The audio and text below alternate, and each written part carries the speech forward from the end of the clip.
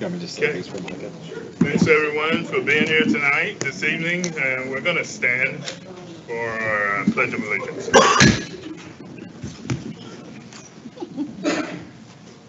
I pledge allegiance to the flag of the United States of America and to the republic for which it stands, one nation, under God, indivisible, with liberty and justice for all.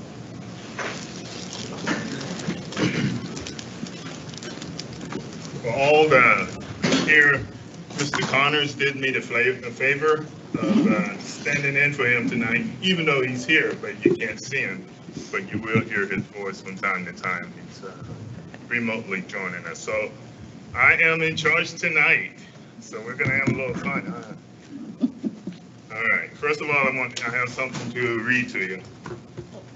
The the Kennewick School District Board of Directors appreciate hearing from the community. Do I read that now or later? Yes. And because of that, a little bird just told me we're gonna read this later.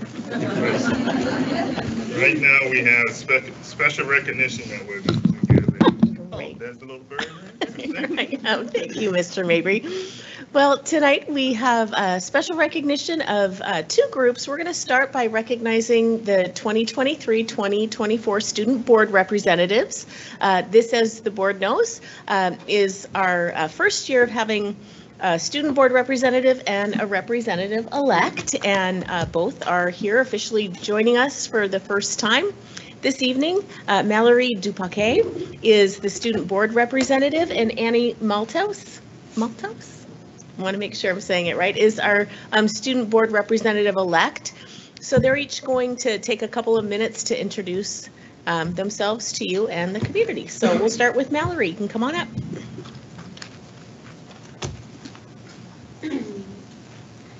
Hello, my name is Mallory Dupaquet.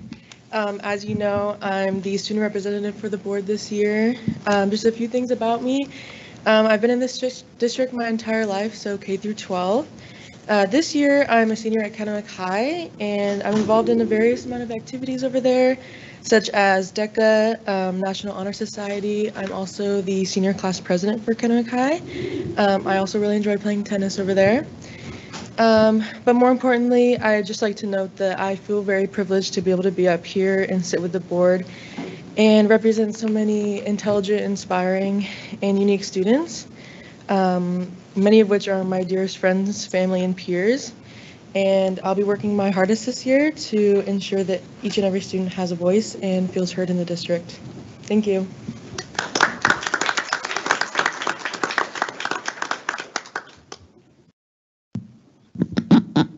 Um, hello, my name is Annie Maltos, and I am the student board representative-elect.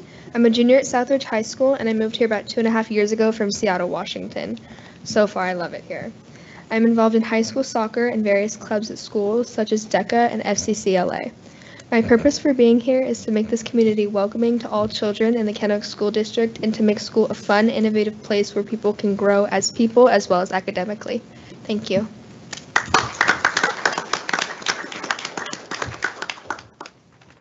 Okay, well, welcome officially to your first board meeting of the year, and we're glad that you are uh, both here.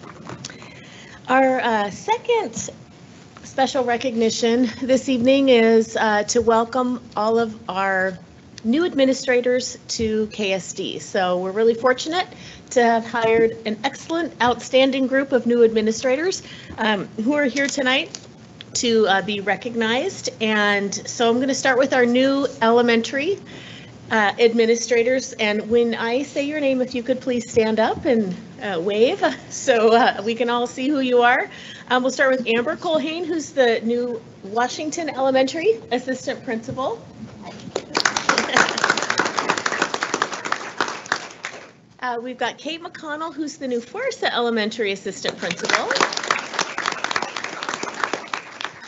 Uh, Jen Veach, uh, who's back to the district. Uh, She's the Washington Elementary Principal. And Shelby Ward is uh, the new Ridgeview Assistant Principal. Oh, and I forgot my fun graphics to show. So we've got new administrators at Washington, Fuerza, and Ridgeview Elementary Schools this year. I am Josh Alexander. I'm the the new assistant principal. Josh, I so much apologize. I was fussing around with this PowerPoint earlier and, and moving around names, and I somehow deleted yours. So I, um, thank you, Joshua. And you might show up on the high school slide. Maybe that's where you are. So forgive me for that. So, uh, Yeah, and, and Josh is at Hawthorne. Hawthorne. Hawthorne Elementary. Okay, so middle school, hopefully I have not made any further errors, but we've got uh, new administrators at Horse Heaven Hills, Jeremy Fox. Jeremy's the new principal at Horse Heaven Hills, and Tanya Kennedy, who is new assistant principal at Horse Heaven Hills. All right, for high schools, we've got uh, new administrator at uh, Southridge High School, new principal John Griffith. At uh, Kennewick High School, we've got Kayla Monroe. She's the new assistant principal at Kennewick. And Guy Strott, who is our uh, new principal for Legacy Endeavor Phoenix and JKC.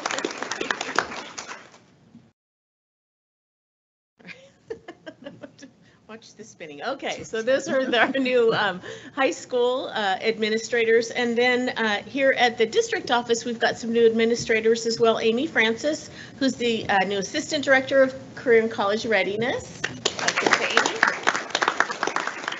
Jared Lind, who's our new director of elementary education.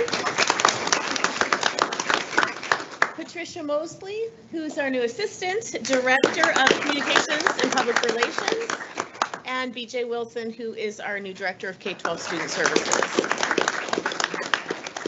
So Josh, yes, you were uh, somewhere in, in the, in, in this presentation. I apologize again for that. But um, also just want to give a shout out to um, some of our uh, not new administrators who are here tonight to show their support for our new team members. So if you are a not new uh, administrator here tonight to show support for your colleagues, could you please stand up too?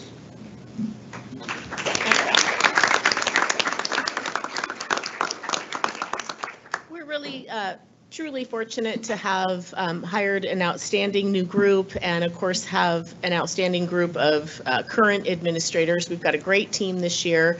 Really excited for um, all the, you know, work ahead and just want to thank you for, for being here and for all the work that you do and let you know that you are free to go because you've had a long day. So um, we are going to let you scoot on out and uh, appreciate you being here this evening.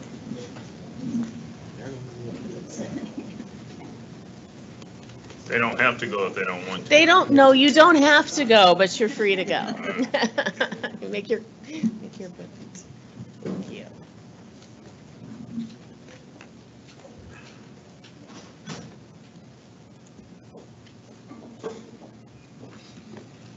Now you get to read it.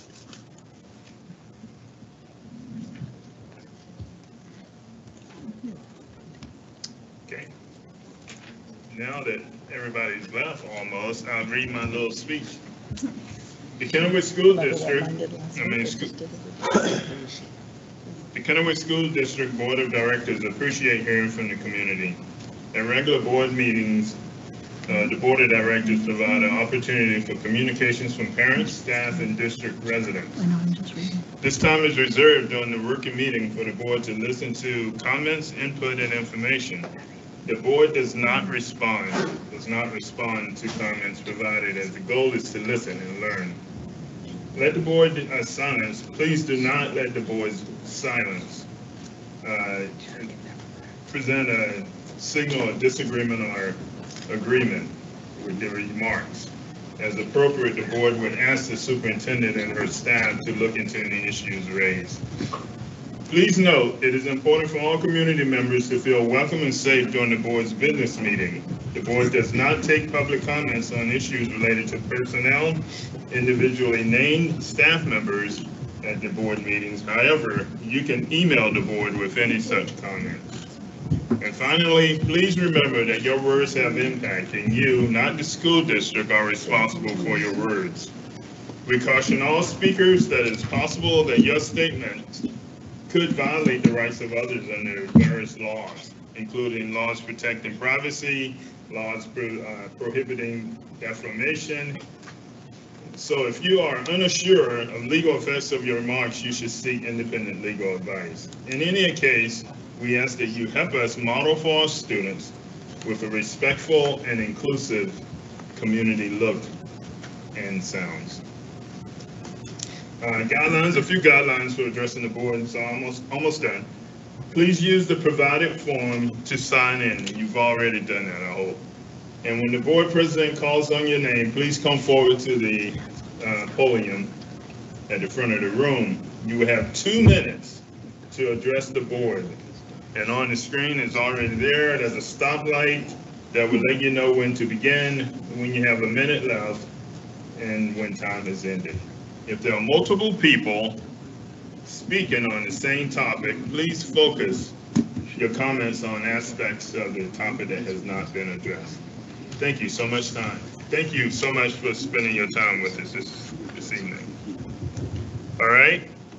So first on our list is Mr. David Cannon. You can come forward, David. How are you doing? Good? I'm doing good, Good, good. You nervous? Not that. Good, good. All right, here we go. When does the clock start? Now, So about 18 months ago, my wife and I became aware that one of my children had used a school Chromebook to access pornography online. There were over 36,000 individual blocked URLs that had accumulated on his web history. Somehow, with 36,000 opportunities, the Kennewick School District hadn't notified us as parents or hadn't blocked access to his internet during that time. This can be done in 30 minutes. I talked to Ron Cohn. Ron Cohn has similar concerns about the, the access on the internet, the problems with filtering and the reporting. With Ron's blessing, I took my daughter, my 13-year-old daughter's Chromebook, and I decided I would find how lenient this filter was. And I spent half hour researching fantastic and terrifying ways to shoot up a school, commit massive acts of violence, and commit suicide, and nobody ever reached out to me or my daughter to inform us that this had been done on a school Chromebook.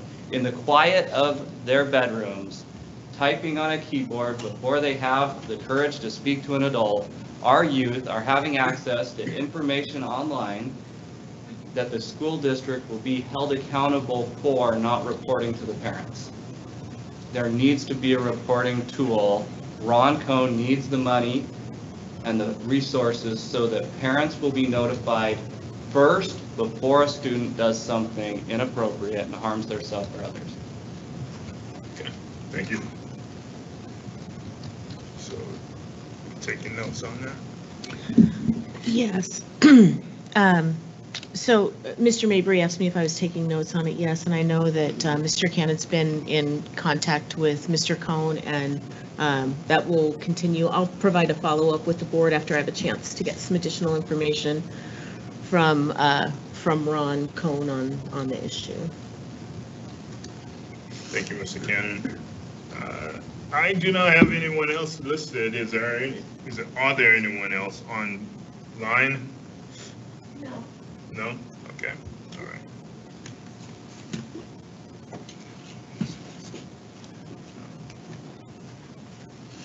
Okay, uh, can we have a motion to uh, approve consent items? I move to approve consent items as written. Do we have a second? Second.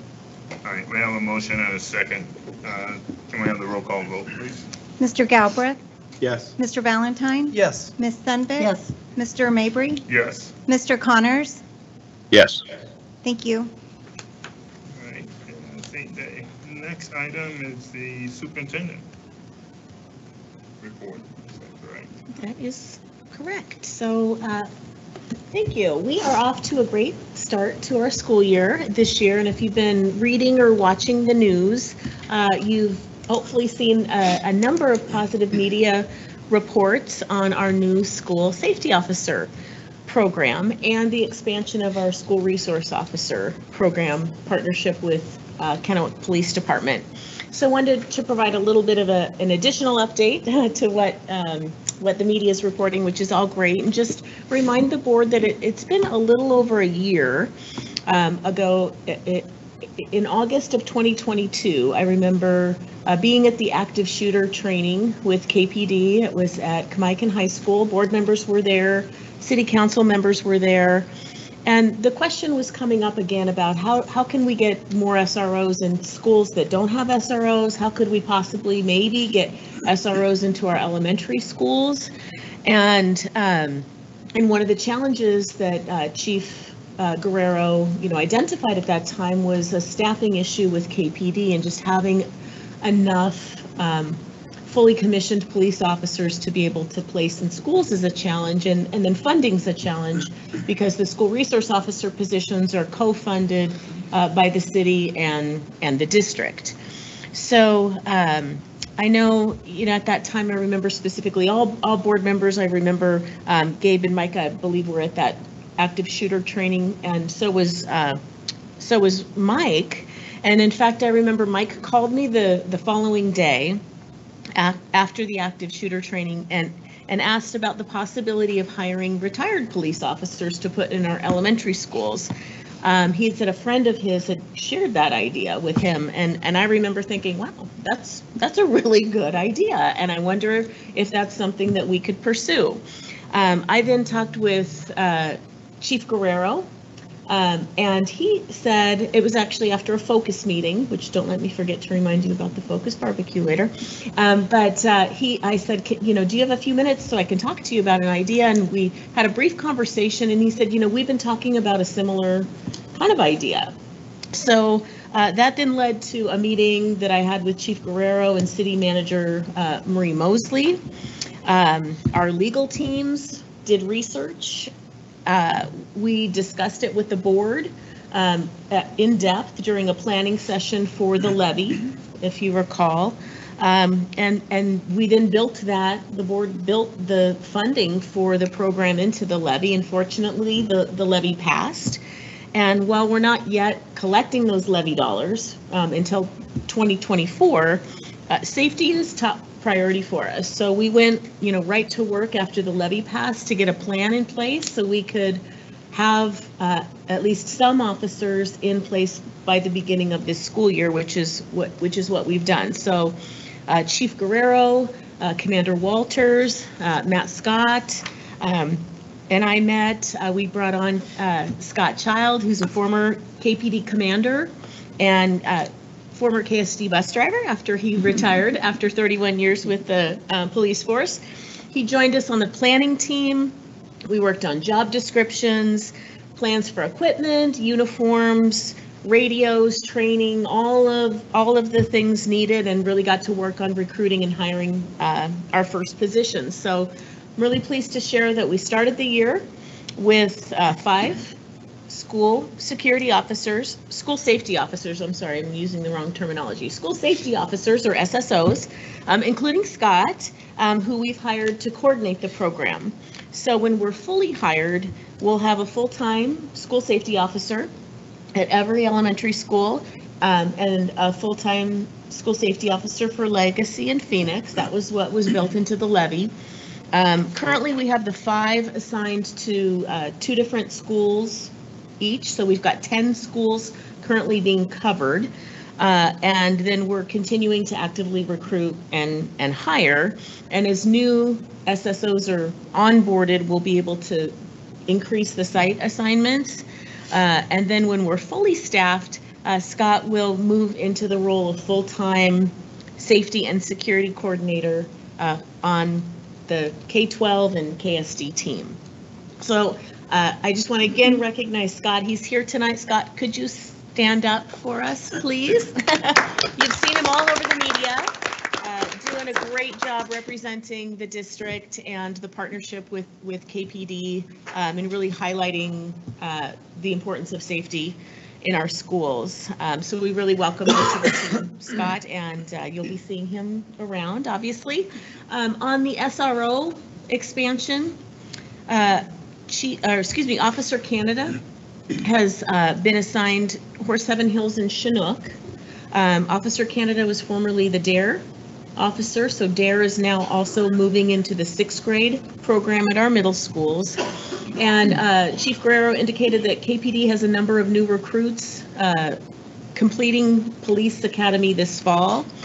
So that will then enable them to place more senior staff officers into school resource officer positions. So uh, the hope is to have all of the school resource officers for the middle schools, you know, and have them fully staffed in January, uh, 2024, so this January.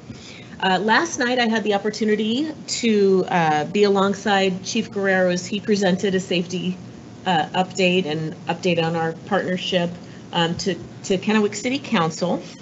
Um, And so tonight, I just, you know, want to reiterate what what he and I both talked about with city council last night is that this is a really special uh, partnership. Um, And, you know, as a district, we're very appreciative of the, the partnership and the programs that we've been able to develop in collaboration with the city and, and with KPD. Um, And we're really proud of the work that we've done to really hit the ground running, you know, and, and get things going this year, even though we're not actually collecting any funding yet. Um, so we're also, I should say, and it, you know, needs to be said and restated, we're really appreciative of the community support of the levy because it's through passing the levy that we have the money to be able to fund the program and, uh, and expand the SRO program too. So both the school safety officers and the SRO program expansion. So uh, that's what I wanted to share as my update tonight. I'm happy to answer any questions, and I just don't want to forget, I mentioned the tailgate earlier, so Barbecue. there- there's a focus group that is focused on um, raising funds and uh, focused on ensuring that there's drug-free and alcohol-free, safe, op- violence-free opportunities for kids. And so annually, there's a focused tailgate. It's happening this Friday, starting at 5:30 at Lampson. It's the Southridge Kamiakin or Kamiakin Southridge uh, game, and um, everyone is welcome. Tickets are available. Uh, Nice big barbecue provided by uh, our food services, Sodexo, and it's a great event for families. How much are the tickets? Like Four $4 each, but you can get a a family. family deal for, It's I like think you get twelve or something. If, if. four for twelve dollars. So it's Three, basically, yeah, basically four dollars. yeah, there's a little bit of a discount for a family. How about for, how about for school board members? You pick up, we're on. Gladly, I did. Okay, cool, Great. Any questions? Uh, I do. Just real quick, so I, think I want to highlight on the SSO piece. Um, one, this isn't a position that we're just out to hire and fill, that we have to find the right people. So I just want the community to understand, this isn't, we're trying to find the right people for this. This isn't just a rush to fill thing because we want to get people in the, in the schools. Um, And I also think, correct me if I'm wrong, no one else is doing this, so there's no roadmap to how this works. And so as we go, we're kind of creating the roadmap and, because I know I've had other board members reach out and like, how are you guys doing this? Like, this is amazing and, and just, we know it came through the levy and, and the community helped and all that, but just like, be a little patient as we work through some of the, the staffing and stuff. But uh, this is a great program and can't wait for it to be ex- Yeah, Thank you, expanded, thank you so. for that. And um, just to uh, highlight the part about hiring the, the right people, uh, that's critically important. Uh, uh, We are hiring people who have um, been through police academy and retired, and they've got lots of experience. Um, Policing, as we know, is, um, you know, it's about building relationships and while they're, you know, they're not police in our schools, they're retired, they're safety officers. A big part of their job is building relationships and being that positive presence and interacting positively with students and families. And then, of course, being there um, in, in the event that, that they're needed. And um, so all of, all of them go through, not only have gone through that level of training at some point in their career, um, but when they're hired, they get uh, uh, firearms training through KPD, active shooter training through P- KPD. So there's a big partnership with the training um, of, of the, um, of the safety officers. So it's, um, it's a really important role and we want to make sure that we've got the right people. I just, I want to, it's a great program, no doubt about it, and I'm one hundred percent for it, but I do have, have to ask some challenging question, and, and uh, Mr. Childs may be the one to answer, if not yourself. Uh, What authority do you have as, as these, uh, these peace officers? What, what authority do they have? Um, I can, I can uh, answer that, and then Scott, if you want to just come up in case there's uh, some things you want to elaborate on, that would be great. But, um, so, the, the- these are uh, employees of Kennewick School District. Um, They are uh, safety officers. They have no um, arrest authority or anything like that. They are uh, highly trained individuals placed in our schools to keep our students and our staff and our campuses safe.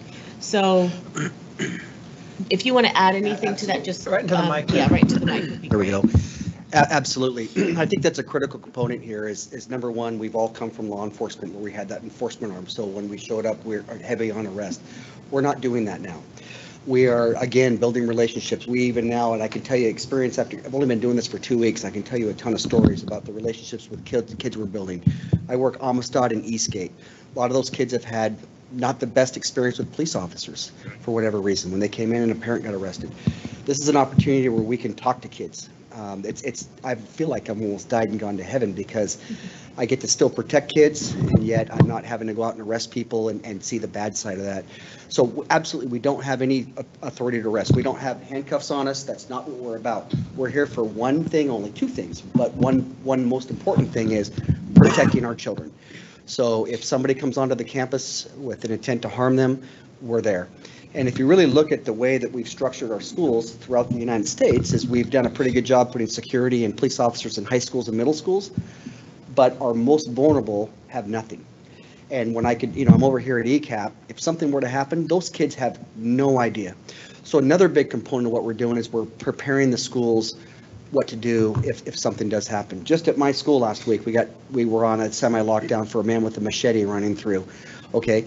And I was right out there. We got the schools locked down and I'm right out there. I can tell you, he's not going to get into the school. And so it- that's, that's what our mission is, is to protect the kids. It's very simple. We're very engaged from the second we're there. We're helping with traffic. Anything to do with student safeties is our priority. And I, and I, I can tell you, I was teasing with some of my colleagues over there, but I'm, it, it, the- the community has been so receptive to this. I'm not sure they're going to accept it if this doesn't, isn't successful. Um, I was just over at Eastgate when they had, uh, they have open house tonight and I did the opening remarks and it was literally a, a standing ovation. Once they realized that what our purpose is, why we're there, you know, I almost feel like I'm a firefighter. Everybody loves me now all of a sudden because we're, we're there to protect their kids. But that's it in a nutshell. Scott. And what's that? Yes, sir.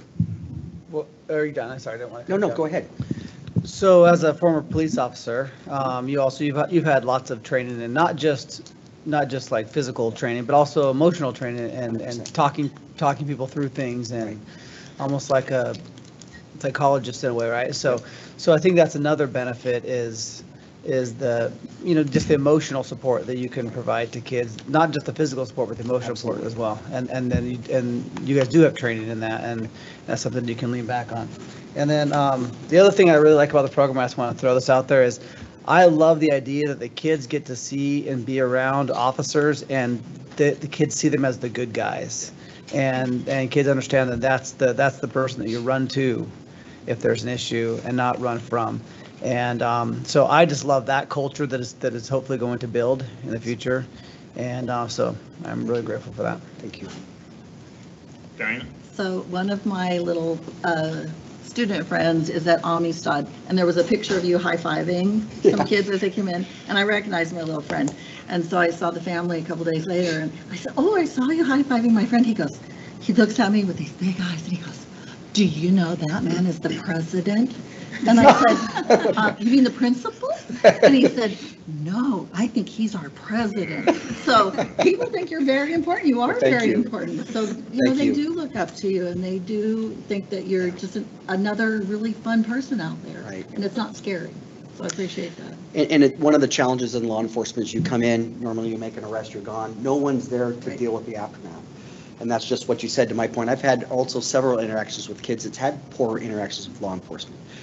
Um, and it's really good to explain to them, okay, this is what happened. Okay, this is, this is something to consider and, and listen to them. And so it's nice to have the time to do that. I can tell you, I'm beat tired when I go home at night from you know, just eight hours a day, but there's so much going on and you have so many interactions. I just, I go home and I just crash. But it, it's, it's a very rewarding thing. And, and to point, I want to thank you. I, I think it is critically important that you have the law enforcement component of that. We bring them right into advanced training. And you're right, to your point, they all, we, we have an opportunity, the ones, the officers that we're hiring, Stay in the mic so that the. we have, a we have an opportunity, yes, we have an opportunity to look at their histories. And we're very, very, very picky about who we hire. And there has been some officers that were qualified that we passed on.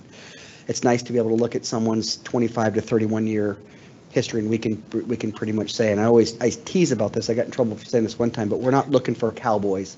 We're looking for people that got common sense, that can use de-escalation, to be a good role model. And that's really what we're building the program on from the ground up. And so I thank you for the opportunity uh, for all of you. This is a great opportunity. And again, we're, this is long overdue. And I think we're, we're making our schools a much safer place so learning can take place. Can- Can someone real quick speak about how we put the SSOs in the elementary? So there was a method to it. It wasn't just Yep. randomly picked. So can, can you just highlight that real quick, just so the community knows why we're in certain schools? Yeah, we as a team looked at several different criteria, one being structure, one being the, the population size. And then even more importantly was we collaborated with the police department. That's one nice thing about my affiliation with KPD of all those years is, I mean, I've got, I've got a lot of contacts. We looked, we, we went around a quarter mile around every school and looked at every police activity calls for service. And then we came up with some type of, uh, these are the schools we selected and why. Um, it's hard because every school should have one, but we had to come up with where are we going to start? So um, not everybody's super happy, but also we, we at least came and did our homework and came up with the schools that we felt were the ones that we should staff first. And the other thing that I failed to talk about, and when you- I heard somebody say earlier that this is revolutionary, the partnership with KPD, this is really a hybrid. Even though I work for the school district, this is a hybrid. This is something that has never been done before, ever. And it's, it's, this is a full-blown police radio that we have access to. I actually have a king number, and I check into service, the whole thing. So in the event of a problem at the school, I pick this thing up and I call and I immediately, I just cut out about three minutes of response time. And every police officer knows that when they hear a King 800, we're King 800, 801, 802, 803, that's our guys are, it's a priority response. So with that alone, my job is to address whatever threat it is. I've got about two and a half minutes and the cavalry's coming. Otherwise, we would have to radio the office, they call 911, you got to go through the whole minutia of all that. Valuable seconds are being lost. So I, I- thank KPD for doing this because I've never heard of a law enforcement agency giving th- this type of access to them outside of, of their own, if you will. So huge, huge. Um, I, I do absolutely want to say thanks for doing this, but I do have to ask some hard questions. Ask me some so- here. But I'm not going to ask you, I'm going to ask our lawyer. Are we covered legally wise and, and liability wise for this position?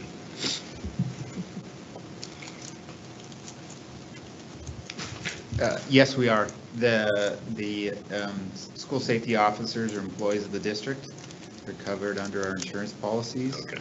We've talked to our insurance company. Okay. Everybody's on board, and so as long as they're acting within the scope of their employment, they are covered, Perfect.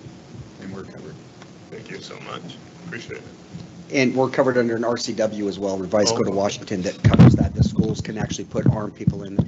So we're very, very much covered, Very good. Appreciate it. which is another reason why we want to make sure we're hiring the right people. Right. Because we have weapons around kids and in the event that we, we want to make sure that they know what they're doing. And that's one reason why we put them through a very extensive firearm program, to make sure that they're able to do that. And again, we have the history to look to pretty much know what they're going to do based on their history. Well. Big keep- advantage. Keep the communications up. I know you will. I will, But sir. let us know how we can support you even more, or let Tracy know. or- I, I will, sir. Uh, Maybe come back, maybe and periodically and. Well, we, I would like to rotate some of my officers Yeah, through, great. um, so you get a chance to meet all of them. So I think throughout the year, you'll be seeing several different ones, but we will definitely be present here. And, uh, we're, we're very active out in the schools and, and we're, it's an honor. I view this as an honor. I don't need to work. I've, I've got a lot of years in, but to me, to be able to do this, to protect our kids, how frustrating it is to see on TV a school shooting, and I think to myself, man, I wished I would have been there. Guess what? I'm here now. So, thank you, thank you all for the support. Thank you so much. Okay. Thanks, Scott.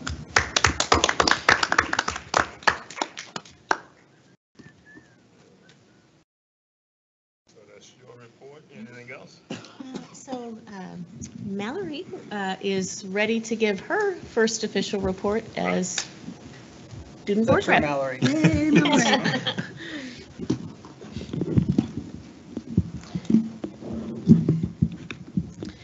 Uh, So we had our first superintendent um, student advisory council meeting today. Um, I would say it was pretty successful. We went over some key topics that the group discussed last June of what we want to talk about this year. Um, So we just went over that, talked about anything that students wanted to add and which topics students found most important. Um, I believe the students, the, uh, the topics that they found most important was safety, so this was really good to talk about today. Um, safety, um, tying into students feeling um, a student to student respect in school is something that we talked about a lot. Um, we also talked about bathrooms and cleanliness is something that we talked about a lot last year. I'm sure you've heard that repeatedly, repeatedly from London, but still something we can talk about this year and find new ideas. Um, so we just talked about what we wanted to get out of the year. Um, didn't get too far into the topics, but yeah, pretty brief. Good job. You, you're right, you weren't nervous. See, No. Mallory says she's never nervous, so. Mallory, can I ask you a question? When you talked, you said the student talked about safety. Uh, Was that physical safety? Was that mostly what they're referring to? Um, I would say it, it depends on the school. So for Southridge, I would say um, they were leaning more into the physical aspect, as well as um, one of our representatives from, I believe, Phoenix was talking about their safety. And, um, but it, like I said, it depends on the high school. For Kennewick, um, our representatives didn't find that they were so much worried about physical safety um, as much as um, feeling safe as in respect with their teachers and students. And like a teacher-student relationship? Mhm, yeah. Just feeling safe as in accepted and welcome in the school. Um, but I would say most high schools, um, we're talking about physical safety. Great. Thank you. Any other comments or questions? Good job, Mallory. Thank you. Thanks, Mallory. Gabe? Uh, Yeah, so let's see, over the last couple weeks, I attended somewhere between 12 and 14 open houses. Uh, Got to meet a lot of our new staff, talked to a lot of teachers. Uh, was exciting to see all the kids, especially elementary, that were excited to be back and smiles and, um, you know, going back to their teacher from last year and giving them hugs and high fives and stuff. So um, it was good to be back in the schools again. Um, been out to a couple sporting events recently as well. Um, so good to see the kids out there and uh, just looking forward to getting the year going and getting out in some, some school visits and going from there. So. Good. Uh, Micah? Yeah, uh, same. I've been to, um, I think that I was actually trying to count it up and I know that, uh, I think Gabe and I probably went to like 70% of those visits together, but then he went to a couple and I went to a couple and I think he actually has one more than me. And I was gonna visit that. What's that small school behind Westgate? Um, Q- Q-Aden, yes.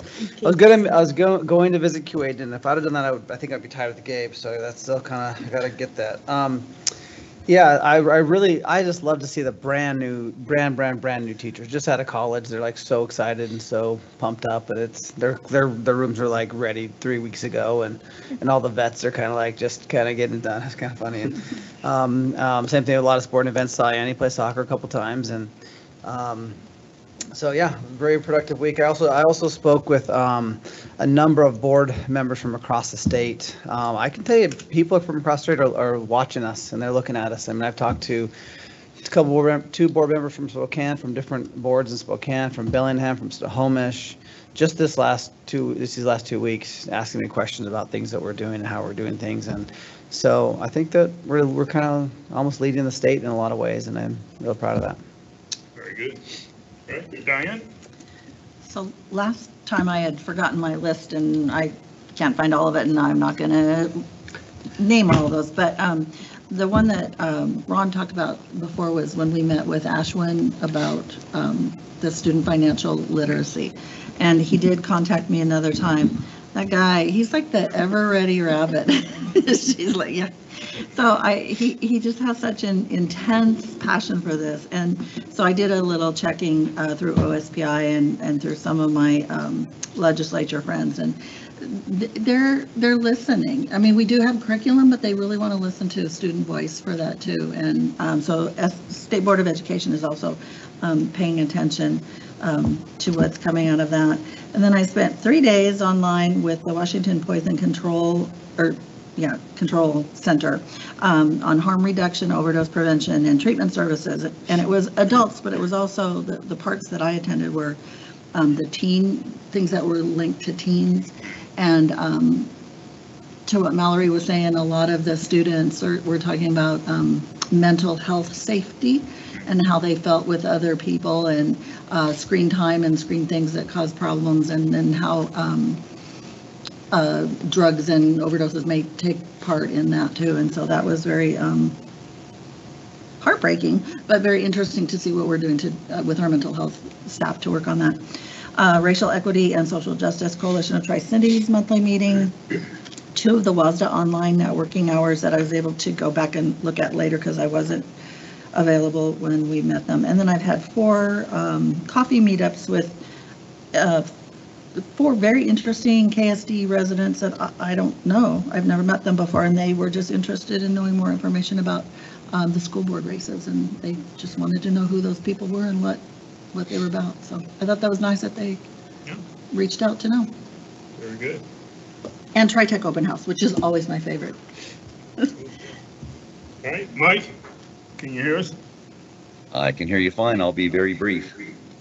Uh, I attended the Welcome Back Assembly, uh, which was very well, very well attended, lots of fun. Uh, Tracy and her team did a wonderful job entertaining everyone there for an hour and a half. Uh, anyway, the teacher, the teachers were all very excited, so that was lots of fun. Um, also, all further, I, I had a meeting with Ashwin Joshi as well. Um, brought my wife along, who's also one of our legislators. She was very interested in what he had to say, and, and she's already working on that pretty vigorously. Uh, we also have him uh, put him in contact with the uh, minority ranking member on the education committee, so he is going in the right direction. So, uh, and Diane, I'd like to talk to you about who you, you were speaking with at OSPI, I told, Ashwin asked me about that as well, so I'd like to make sure that we're Sure. sending him the right, right direction and, and not doing it twice. Uh, and really finally, I want to just say how excited I am about the SSO program. Uh, and I, I- would be remiss if I did not give credit to, uh, Dave Blosser, because this was really his idea.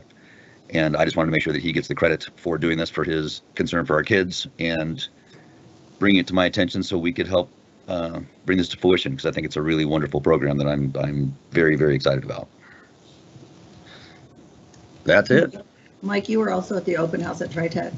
Yes, I was. Thank you. Thank you for that. Yes, I was running around with two of my children who are both enrolled and are absolutely. When I mean they're thrilled with it, I mean they come home and the first thing they do, they tell me every day is the first 10 minutes of their day is, is what they did at TriTech. So they're just, they're, they're, the teachers are wonderful, the kids are excited, they're all learning great things. And so it's a really pleased with what I'm seeing over there. It's, it's, they've, again, they've got a nice group of people and a great curriculum. All right, thank you. Uh, I've been working on some legislative policy issues. Uh, if you guys have ideas, uh, something pressing, that now is the time to start discussing them so that they can get on the docket. Uh, and, uh, for our legislators or, uh, uh, government officials to take a look at. And I'm including, the folks on the federal level also. Uh, this, uh, free food, uh, free lunches is, is on a national level now. And so you want to get on touch with your, your federal regulate, uh, regulators or legislators, uh, or your representatives here, so that, uh, those issues can be addressed. And I'm gonna throw up one other issue that's, it's down the road a little bit, but it's coming up. Uh, we are moving towards, uh, battery operated buses. Uh, those are expensive. And uh, we ne- really need to let people know that if we're going to do that, we really need some budget uh, to replace our present fleet and move into a, a, a EV fleet of buses. That, that's something that, uh, I think we're gonna hear from in a couple of three, four years as a mandate, but the funding may not follow. So I've said it before, but I'm just, it's one of those things that I think we need to stay on top of.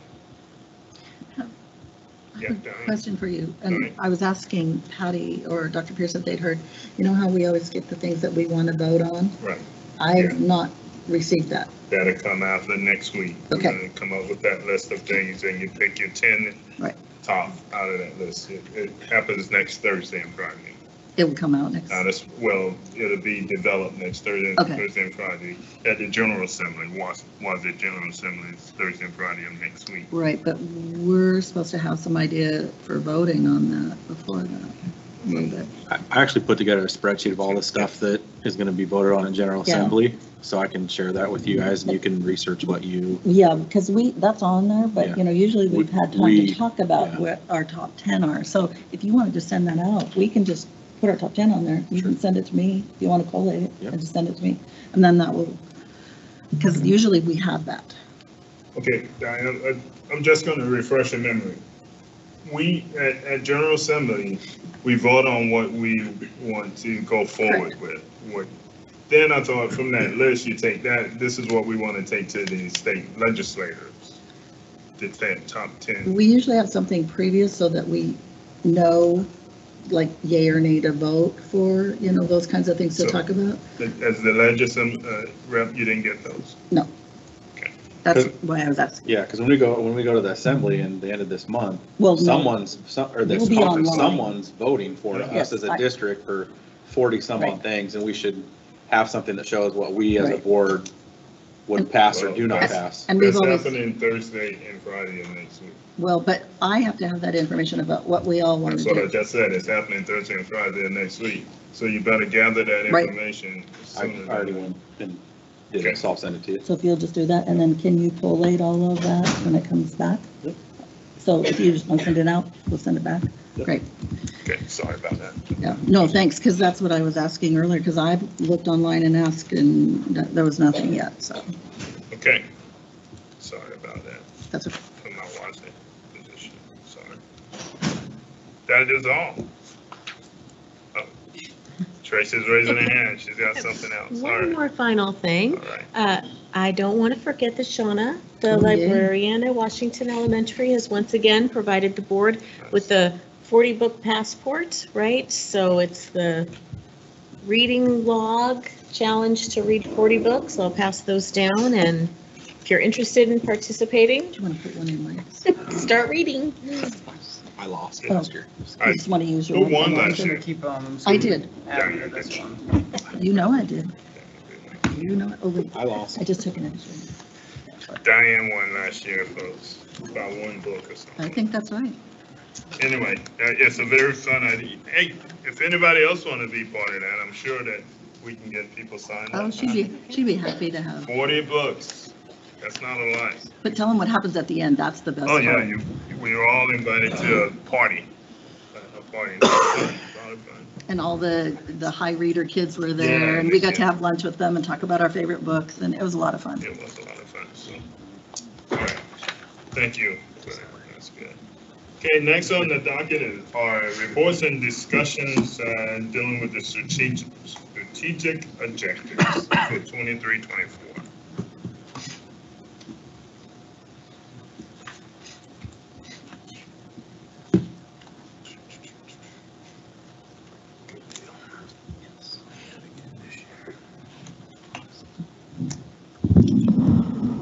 Okay, so uh, at this time of year, I am coming to the board with the draft strategic obje- objectives for the year for your approval. So uh, just as a reminder, uh, we've got a strategic plan as a district. This is that poster version that includes our mission, vision, and strategic goals. And um, those things remain the same each year. Uh, We also have performance indicators and targets that are tied to each goal. And the board has expressed interest in wanting to review and refine those this year. This was our fourth year into uh, using this as our model for strategic planning and some of the indicators uh, you know, need to be looked at and updated. So uh, at the next board meeting will be your first study session. This year, the board decided to schedule quarterly study sessions at 4 PM to 5 PM prior to the board meeting. And so the topic for that study session will be for uh, you to take a look at our current performance indicators and targets. So, and you have a hard copy of that in front of you. And then you've got an, a draft update. So um, kind of based on previous board discussion, I, I've gone ahead and made some suggested edits and also made some formatting changes to the document to make it a little simpler to digest. So you have both copies in front of you. I'll also email them out. Um, so Mr. Connors, you- you'll get yours uh, electronically. The board's not talking about these tonight, but you're getting these tonight, so you have ample time to review them before you talk about them at the study session on the, I think it's the 27th is our next meeting. But tonight um, is the uh, time to approve the objectives. So each year we um, set objectives or like actual work items that we're going to do that are connected to each goal. Um, Those work items are based on data review, needs of the district, and board priorities. And then, of course, the board throughout the year monitors our accomplishment uh, of these strategic objectives through board reports and updates and other means. And then we uh, track our ongoing performance each year um, toward meeting our uh, targets on this annual report document. So uh, just as a couple of reminders in terms of our process for updating the objectives that you're going to see tonight, uh, We, as you know, each year do an annual uh, student survey, staff survey, family survey. So we look at those results to help inform objectives for the year. We look at our student academic achievement data. Um, That gets reported throughout the year. In fact, tonight, uh, next up will be a report including our uh, state assessment data and, um, and DIBELS data. So we look at all of that data, including other organizational data from every department, whether it has to do with hiring or has to do with technology or uh, business operations. Um, Then we use that data to help inform needs. Uh, We also look at new requirements, new legislation that's come out that we need to uh, act upon. Uh, We seek input from administrators and staff. Uh, We uh, have the board go through the process every year to determine and identify priorities, and so we use your board priorities to help inform our objectives. And then uh, I work with uh, my cabinet team, and we take all that information and we develop updated objectives that we present to you. The board approves those, and then that kind of uh, cements our work plan for the year. So uh, on the board priorities, I just want to remind uh, the board of the priorities that you identified, and you'll see those throughout the objectives. Uh, In, uh, at the June retreat each year for the past several years, the board has uh, completed the self-assessment and then looked at the board self-assessment to identify areas of strength and opportunities for growth uh, aligned to the WSSDA standards for board governance. And so those are shown on the screen. And this past June, through that process, this is, these are the priorities that the board identified. Um, And there's one, two, or a few priorities connected to each uh, standard. So I'll just highlight a couple. I won't, um, you know, read them all to you because you've seen these before. But uh, for example, connected to standard one, provide responsible school district governance. One of the identified priorities was to ensure respectful treatment of all individuals, including students, staff, families, community members, and board meet members. And so tonight, later, you're going to uh, see me present uh, a civility policy uh, for the board to consider, which is directly connected to this board priority that you've identified.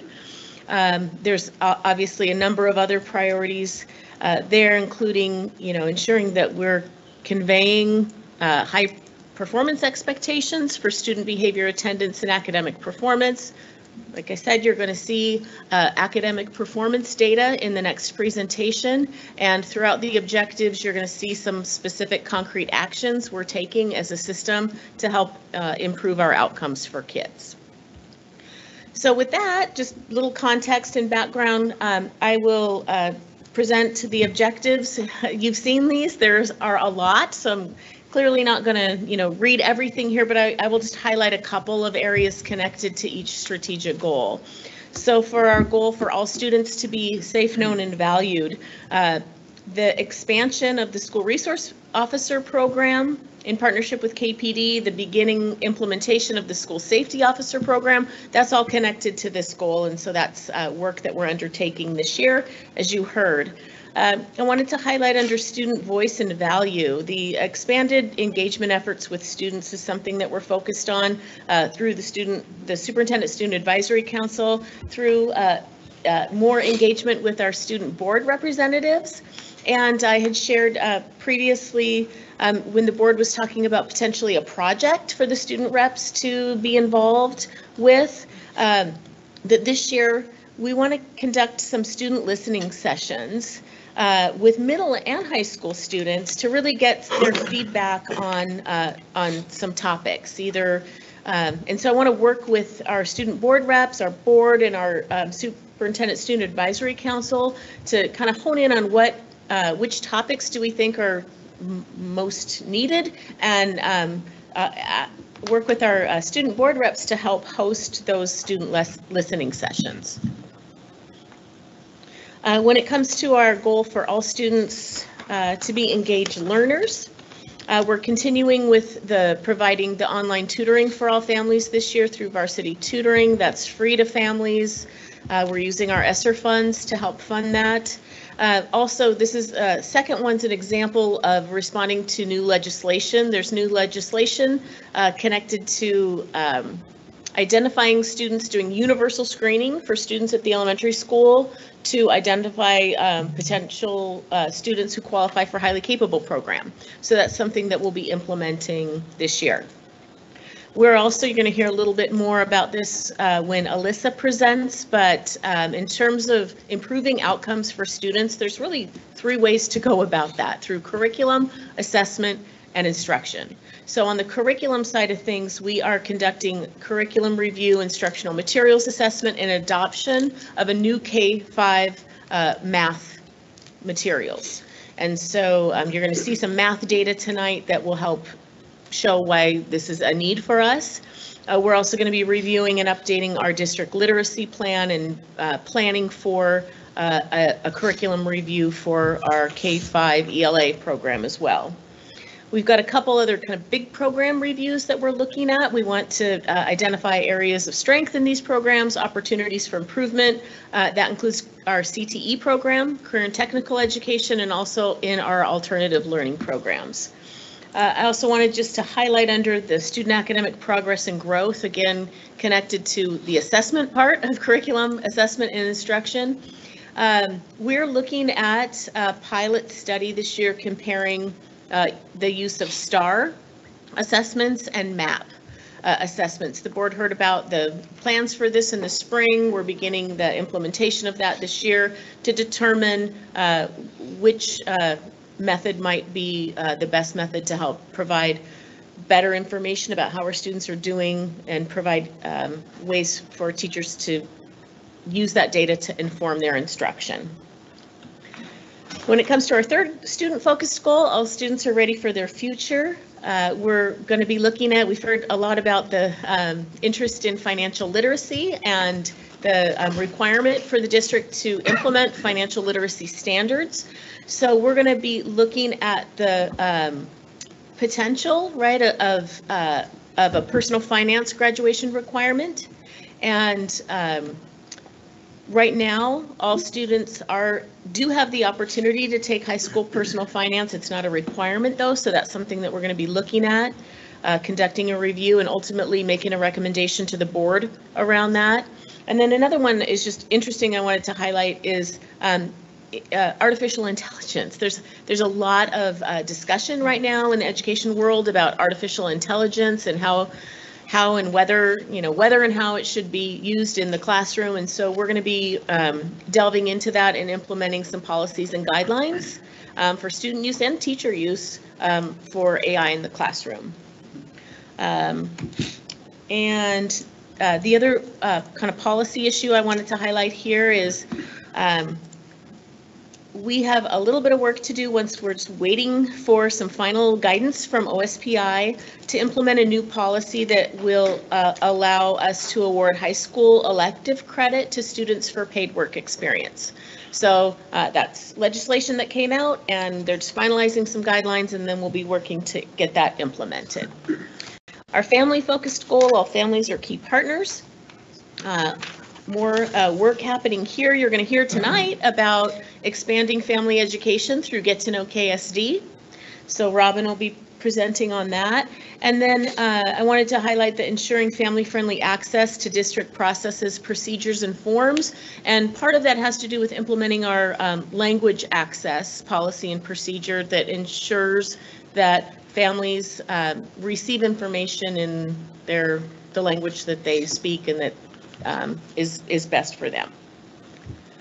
When it comes to our staff-focused goal for all staff members to be safe, respected, and valued professionals, a couple of things I wanted to highlight here. We're continuing to build our Recruiting Washington Teacher uh, program. Uh, That's our kind of Grow Your Own program, CTE program, to um, help foster and encourage students who are interested in going into education careers to have that opportunity in high school and then uh, have a bridge to, to college. So we were able to get the Teaching Bridge program going last year, our CTE staff, and working with uh, WSU. And we've got students who are um, now uh, graduated, starting in WSU, and, and able to work with us as paraeducators while they're earning their teacher certification. So that's a great program. We're going to continue working on that. Uh, on the instruction side of curriculum assessment and instruction when it comes to improving out from outcomes for kids, Last board meeting, I, I talked a little bit about our P- focus on professional learning communities and the, the research and data that shows that collective teacher efficacy uh, makes, is, is one of the things that can make a, a big difference in student learning. So this year, we're expanding our training and time uh, to support PLCs focused on teacher collaboration on standards aligned learning, assessment, data analysis, intervention, and enrichment uh, to support classroom uh, goals and eventually improve student outcomes. So that's a focus for us this year when it comes to staff. Uh, Two more goals here when it comes to our community-focused goal. Um, We've got uh, a lot of good, good work and partnerships uh, continuing. Um, Here, you'll see that uh, board priorities show up on the objectives in terms of that culture of belonging, dignity, um, respectful treatment for all. So the civility policy that you're going to see later, you know, one, one concrete thing, there will be more things that we can work on there. And then I wanted to highlight, because I know volunteering and having volunteers in schools is an important priority for the board, uh, we are going to be investigating an electronic system for volunteer screening and tracking uh, to make it a little bit easier uh, the process is easier and also easier for us to get the data that really gives us accurate information about um, the level of volunteering in our schools. So we, we don't have that electronic system right now, but we're going to be looking into that this year. Finally, uh, with our district focus goal for our district to be innovative, proactive, and accountable, uh, Ridgeview will be completed this year. It should be uh, ready for move-in at the end of December. So um, that's exciting. And um, we're also going to be, as you know, the board uh, approved the boundary, the new boundary for implementation in the 24-25 school year. So we'll be preparing to implement that new updated boundary this year to take effect next year. And then, um, again, just on a- the policy side of things, uh, This is the year for the 3000 series.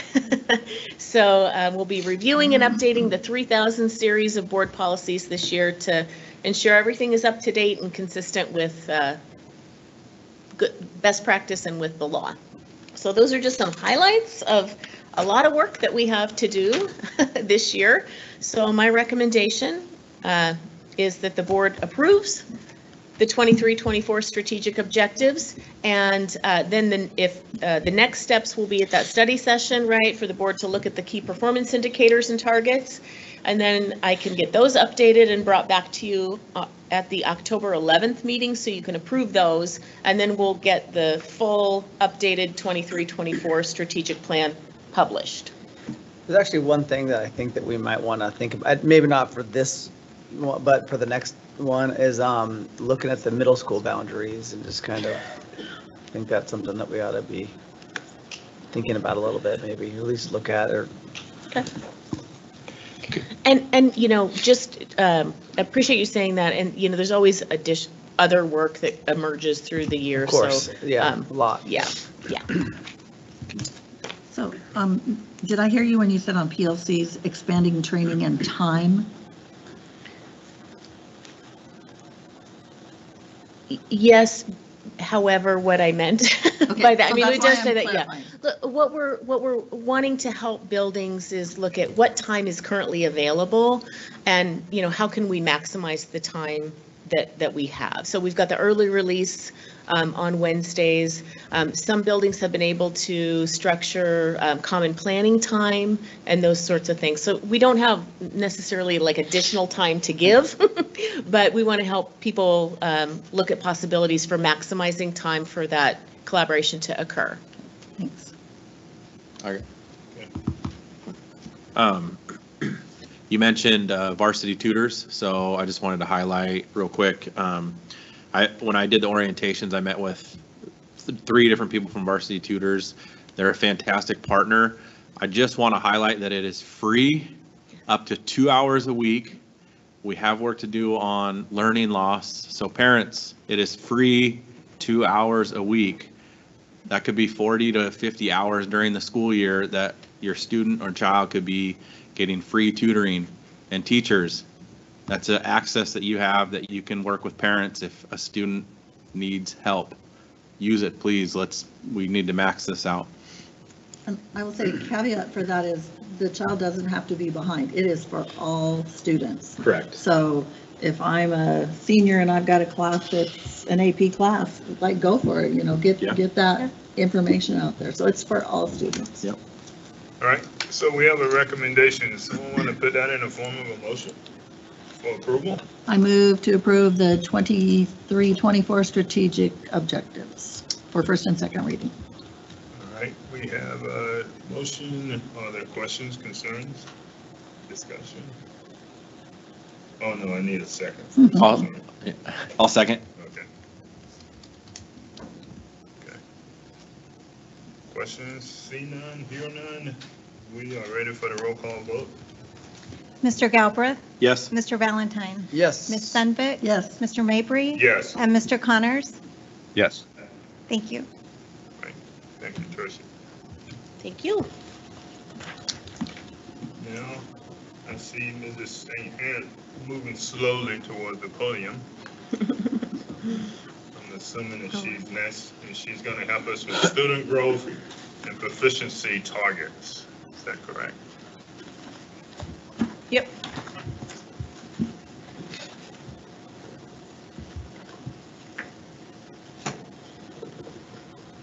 Give me just one second.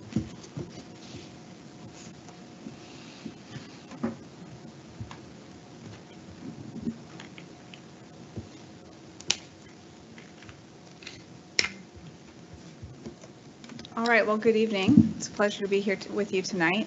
I'm going to talk a little bit about our K-12 Annual Student Goal Report. Uh, This is connected to that strategic plan goal that our students are engaged learners. Um, This report tonight's going to show where we're making progress, um, not just um, proficiency in making grade level standards, but also that our students are making growth um, each year. Um, So for tonight, I'm going to just review with the board our reporting calendar.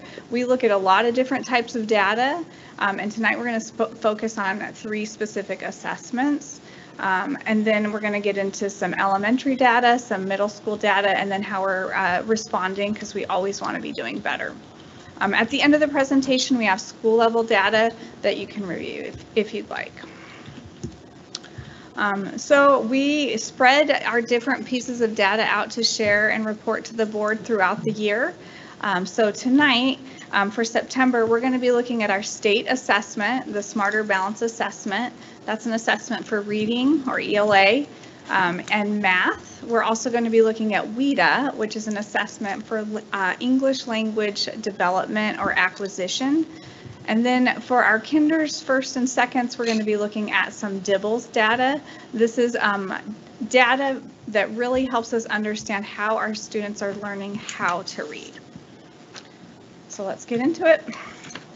Let's see, we are going to spend time at really looking at growth, that all students are growing from when they start with us till we assess them at the end, that all students are growing.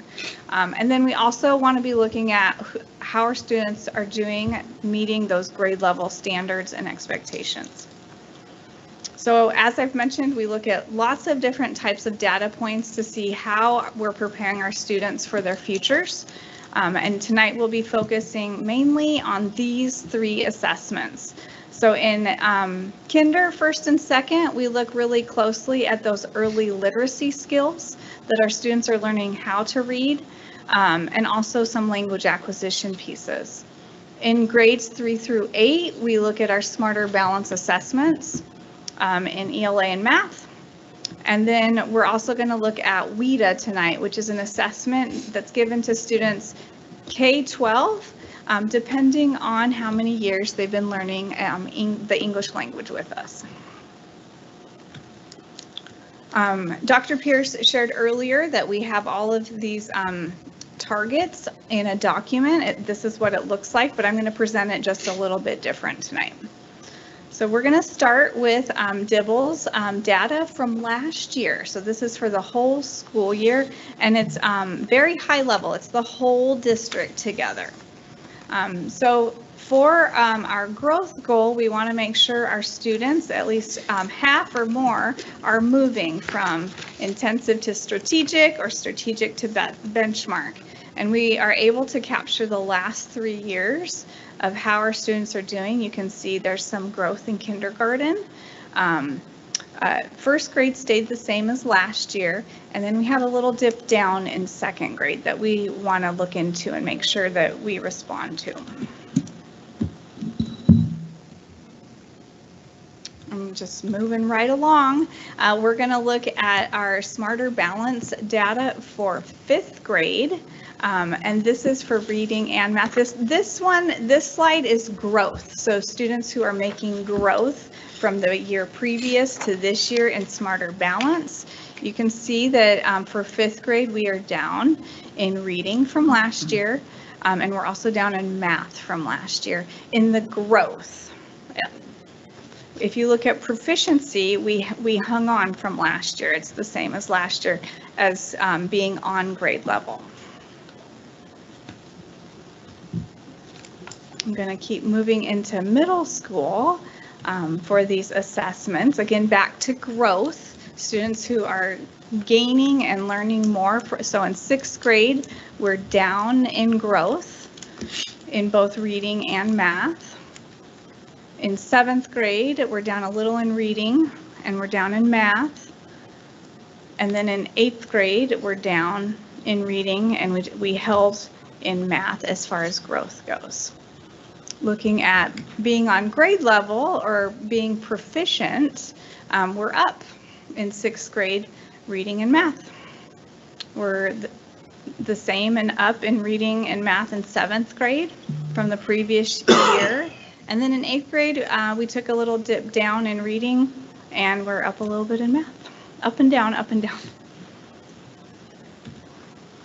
Uh, Last year, Dr. Pierce um, showed us some data at this time, like where are we at from before COVID? So I just want to kind of walk through this um, with you.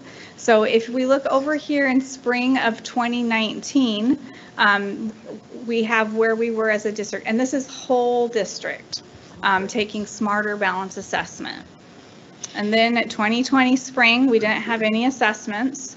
When we came back in the fall, we tested, and you can see quite a, quite a dip there um, in the fall. We then tested in the spring, and we're back up um, to, let's see, I'll use the mouse here. So we, we've moved back up a little bit in spring for both of those. And then we had another year, so this was this um, last spring test, and we're down just a little bit in ELA, and we're up a little bit in math. So if we, if we think about where we are from before or pre-COVID, we, um, we were down this much two school years ago, so 21, 22, we made a gain. And then this last school year that we just finished up, we didn't, we didn't continue to accelerate. We, we dipped just a little bit in ELA, but we did continue to gain a little bit in math. So we, we still aren't there. We're still not back to our pre-COVID levels. We still have some recovery. Tutoring's one option. I'm going to talk about a few other options that we're looking at right now. Yeah, I think, yeah, I think that clearly shows that Zoom school's not Good. working for our kids. I mean, the, the decrease we had while we were stuck in Zoom school to now trying to make that back up, it's. And it's not just going to recover like that either. Yeah, we've got work to do. Can I, after, can I ask a question after, maybe after Traci? Oh, yes, sorry. Um, I- Ron, you're the man tonight, remember? I also um, just wanted to highlight, a- and it's, uh, you know, th- there was a, an article in the Tri-City Herald, and it's what I said to the reporter. Um, Our goal isn't to get to where we were pre-COVID, because where we were pre-COVID is not where we want to be. Um, We want to be better than that. So I just think that that's important, just to highlight that, yes, that's actual data, but we're just not striving to get to where we were pre-COVID. Your, in your opinion, um, the decline in the, in the growth, what would you attribute that to? I'm going to talk about that in Oh, look at this, I'm giving you a segue. Yeah, thank you. Because we, I, I look more at the growth than proficiency. To me, it's important that all kids are leaving here better than when they start at the beginning of the year. So uh, that one to me is personal. Um, I want to make sure we're doing the best for every single kid. So that, some of that data, we've got to do better. Before I do answer that, though, I have a little bit about our um, language, our multilingual learners um, and how we're doing on WIDA assessment. This is the state assessment, it's a required assessment to show um, how our students are doing at learning the English language. May I- may I ask you uh, to expound upon the acronym? What's- I, yes, you can. It, it actually is just WIDA now. It used to be something else, um, but now it's just WIDA. Um, it comes out of Wisconsin. Um, it used to be World Class Instructional Design and Assessment. Um, it's a professional, it's a consortium for language acquisition. Okay, so it, it, it- it's not an acronym then? Not anymore, it's just WIDA. Um, okay. We used to have ELPA, the English Language Proficiency Assessment. Before that, we had WELPA, the Washington English Language Proficiency Assessment, uh, WLPT. I'm doing a little um, uh, mentioning the past a little bit. But WIDA is um, a national, like Smarter Balance, WIDA is a language assessment. And it comes with a lot of good support and um, data analysis support. Thank you. Um, so for our multilingual learners, we can't really look at it by grade level. We want to look at it from years in program, and we've set growth targets based on how long a student has been um, learning with us. So if a student's here less than a year in program, um, that could be a kindergartner, fifth grader. It just depends on where where they are as a multilingual learner. Um, we want to make sure they're growing. Um, And we've got a target that 85% of them are making that growth um, target. Um, We came in at 76% um, for this last year. Um, As students are learning language, it gets harder to learn more language. Um, So those numbers, are it's hard to stay that high all the time. But we really want students at a proficiency level in that fourth, fifth year, if possible. Um, If they can be proficient on the WIDA, they're going to be proficient on the Smarter Balance Assessment. Um, So we, we are tracking it with the number of years in program.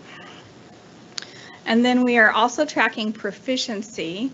Um, We want at least 15% of our multilingual learners exiting or successfully um, being proficient on that WIDA assessment in six years or less. Um, And this last year, we were at a 4% for that. So we always are striving, as Dr. Pierce said, to do better, and we have a mindset of continuously improving. Um, Our new annual objectives do point out some different key areas that we want to look at, and I'm going to highlight just a little bit more um, in those areas that were mentioned in the previous presentation about curriculum, assessment, and instruction. This is how we improve outcomes. We have to work at all three simultaneously. They go together. Um, So as mentioned, we, we're looking at our K-5 math um, instructional materials because we feel we need um, strong materials for our teachers for math. And so we had our first large meeting yesterday for our math adoption. We had about 60 elementary teachers here, starting to get into that process of reviewing materials.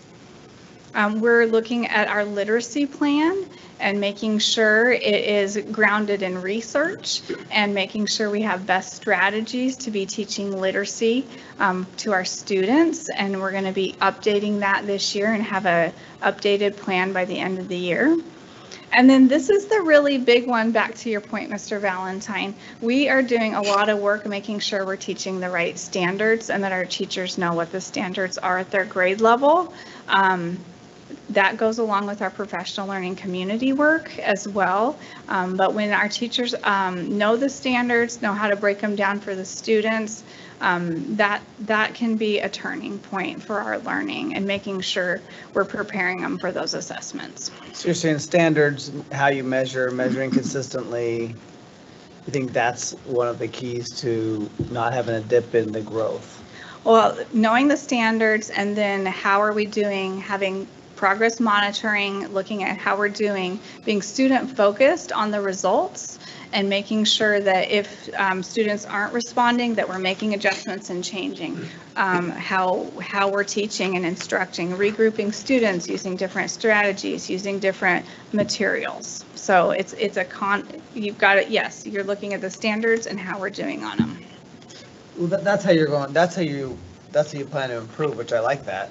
I was wondering why you think there has been a, a dip or, or why, uh, the growth has, has declined. So is that because we haven't been doing those as well, or we're just, or, you know, or? Well, I- it's, it's complicated. I think looking at um, the math, like we need to have some different materials ready for our um, teachers. What's interesting too, and, and you'll see the data in the appendix, we don't go through all of that, but you know, we're, we're presenting the data at a really high level tonight, kind of, you know, aggregated up, whole district, all, Sure. all grade levels, or in some data points, it's every student who tested at every grade level.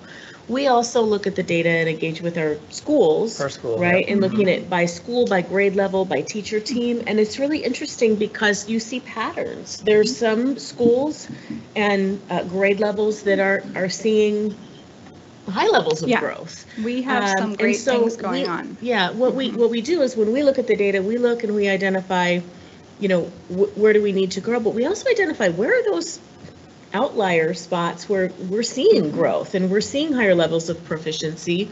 And then we're connecting with those schools and teacher teams to find out why. And one thing that we're finding that's in common is they have strong professional learning community That's what I was gonna work ask, yeah. happening, which is exactly what we're So you, seeing. so that was, that was my next question, mm-hmm. is do you, you do feel like that is a big difference, that when they have those, those professional, PLC, right? When they have those PLCs established Yeah, in fact, you know, um, those of you, and I'll take this opportunity to apologize to Micah for not recognizing him at the welcome back because I didn't see that you were there. Mr. Connors was there, uh, Mr. Mabry was there, and, and, and Mr. Valentine was there too. And uh, during the welcome back, we, we get to, you know, recognize schools for um, meeting growth targets or proficiency targets in all kinds of ways, um, school culture and academics. And we highlighted a couple of teacher teams um, in the videos where they're, they're seeing tangible results because of their PLC work. And I, I'll add to, it's when PLCs are done right. So they have to be focused on student learning. There have to be high levels of And that's, collaboration. and that's your job, right? To make sure that you're communicating how they're doing, or And our principals, like, it, it takes all of us to do that, but that's where the K-12s. training's coming in. Yeah, for sure. mascots on it. Yeah. Um, We are a team. We're all working on it. Um, I will add with assessments as well, we are um, increasing the use of the Smarter Balance interim assessments. This is an area we can do better in, and those are kind of like the pre-tests and help teachers get, help students get used to what's going to be coming up on the Smarter Balance um, assessment, get used to the format, and then also um, look and see how the students did on that, um, do some teaching, some reteaching, and, and it will help them on those assessments. Dan? Matt? So um, I want to ask about the adoption for math or ELA when we get there. Because you worked in federal projects before, Mhm. there were times that um, our multi-language learners were not getting, we had a one-size-fits-all and it doesn't always one-size-fits-all. So what's happening to make sure that the new curriculum that we are looking at and then eventually choose work for everybody? Yeah, so we've got great representation on our committees to make sure that we have all of those um, perspectives in the room to look and see are the materials um, good for our special education students, good for our multilingual learners. Um, But not just that, uh, the materials, um, it's really those inclusionary practices um, and giving support in inclusionary practice. So all kids are in core content, core instruction as much as possible with the right support, so it's comprehensible. So important. I clicked on what was under instruction. I feel like we've kind of already hit them. Um, So I'm going to keep on moving, um, which is um, just to open it up to more questions. Is, is the uh, SBA test, is that strictly given in English? Yes. So you Well, have. so you- let me clarify okay. that. There are, um, we can put in permissions for students, so there's some translation and some stacking that happens, so they can um, see their language that they're most familiar with. So there are a few supports, the students have to know how to use those supports. So our, so our students, like, our ELL students or whatever, first year, they don't know any English or barely any. They're taking the English test and expected to succeed at the English level. Yes. Well, that seems kind of silly to, to me personally, but, um, and there's not a way to get, The state's Like- aware of it. Um, It's a challenge as well. Um, And, and we know it, like our teachers know, like to look at that data um, and know that there's other pieces to be looking at. Um, We, for those multilingual learners, we really want to look after three, four, five years.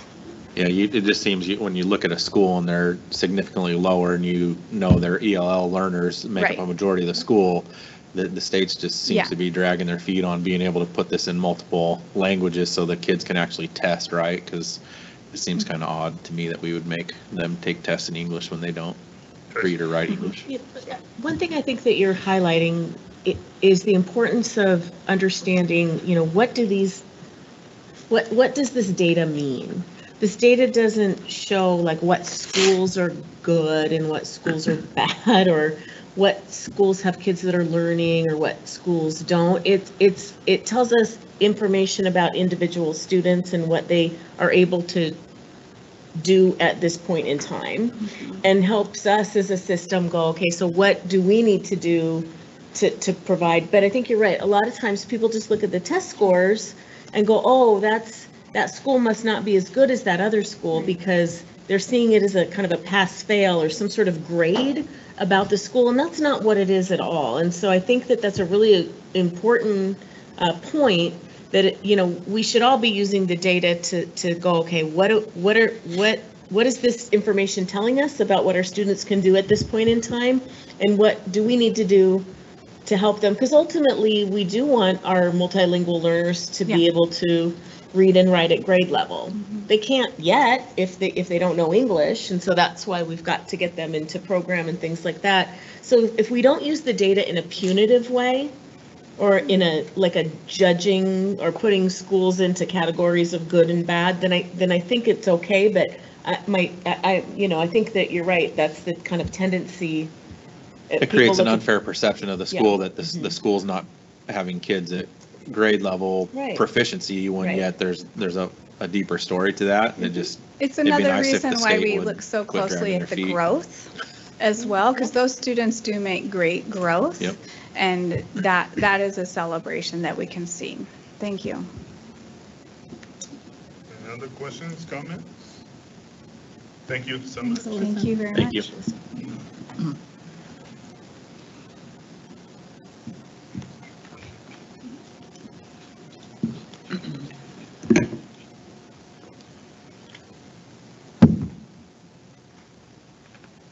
So, Robin, you're gonna give us some information tonight? Get to know the KSD plan? That's right. Here we go. I'm excited to present to the school board some information about our plan this year for Get to Know KSD. Um, So our goal this year with KSD, it's a little bit different. We definitely worked on refining what we're working on based on not only the school board feedback, but also feedback from our families. We really want to, we want Get to Know KSD to engage, empower, and educate our families in their child's ex- education experience. So um, we're going to, we have a family hub right now.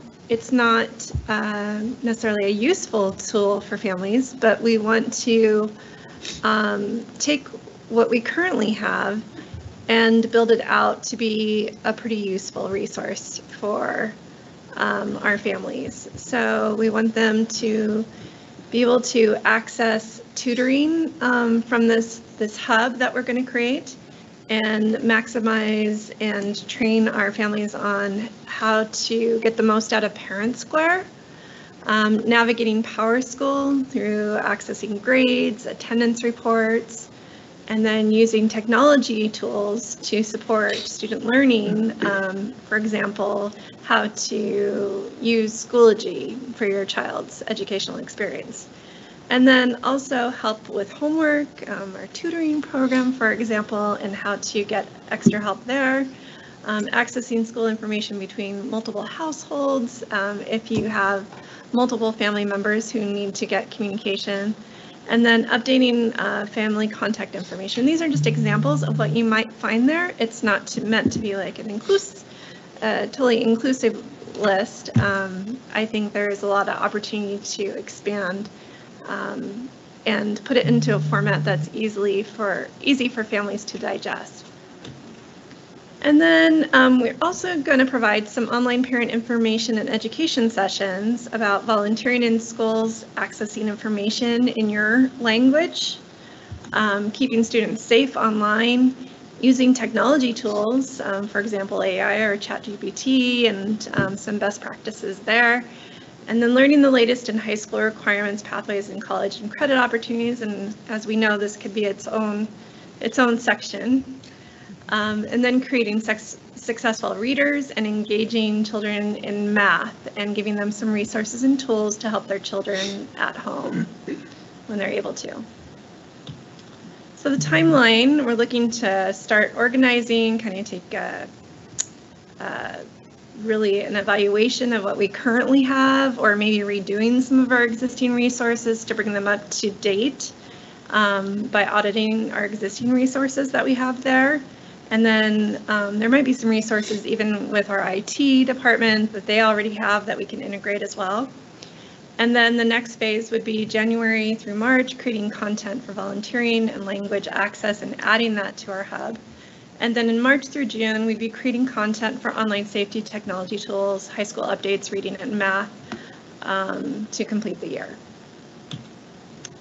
Does our school board have any questions or comments? I like Um, that picture.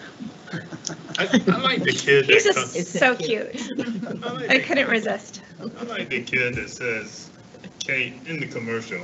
Is that one of these kids? You know what I'm talking about? You know what I'm talking about? That that kid that says KSD, he got his, you know. Oh, the little guy. It's the cutest little voice that says Really? something about KSD. I might know Get that. to know KSD. I might know that, might that cute KSD Oh. might be Her daughter. Okay. Good job if you know. it. You can pass that She's on. just as cute in Yes, she person as she is on the radio. Yes, Diane, sorry, sorry, sorry. Um, You know, during COVID, you had some similar things where we had videos for parents in multiple languages, how to do Schoology, how to do all those different things. And that was very helpful for parents because they'd never seen that at that time. And things have changed though, even though it still may be Schoology, it's changed dramatically. And so these are the kind of things that, you know, parents really, I'm sure you get calls all the time. IT gets calls, I know, about how do I get to this thing? So I think, you know, thank you for doing that because I think that's really what meets so many of our parents' needs, but students' needs too, because when parents know how to help, then it works better for everybody. So thanks for making a whole different thought process. And then I wouldn't be the only one coming to your great meetings that everybody has planned and done such good work for, and everybody can see it online when they need it. I think Yeah. that's the important access piece to that. We will miss you though. I'll still come. I'll still be here. Real quick, real quick. Is, so is the hub, will that be just on the KSD webpage? There'll be some link to it and it'll go So- that, that route? So in our communications department, what we can do is we can push out those resources. So it is a centralized, more visible location than it is right now. Um, But uh, it's, it is going to be a great tool for us to build resources, and I have some ideas about expanding our newsletters um, to have a family-focused, like a Family Hub newsletter. Um, That's just for families. Um, We have the good, the good stuff, which is really great news for our entire community. But there's also things that wouldn't apply to our entire community that are really family-focused. Um, And it would be those tools and resources they would find in that hub section. So we're, we're, we're diving in on the work already and um, hopefully we'll exceed the expectations that were set forth in our So plan. did I miss this? I mean, you, you might have said this and I'm sorry, I apologize if I missed it. Like, if this is, you're getting this ready, right? It's, it's, okay, and then when do you say, when will it be ready? I, you might have said that. So it's, it's uh, a phased, Yes, Okay. Yes. but as we have resources ready, we'll start pushing them out. I'm hopeful that you'll see it sooner than later. Right. Thank you so much. Thank you. Is it, is it okay, Traci, if we take a short break?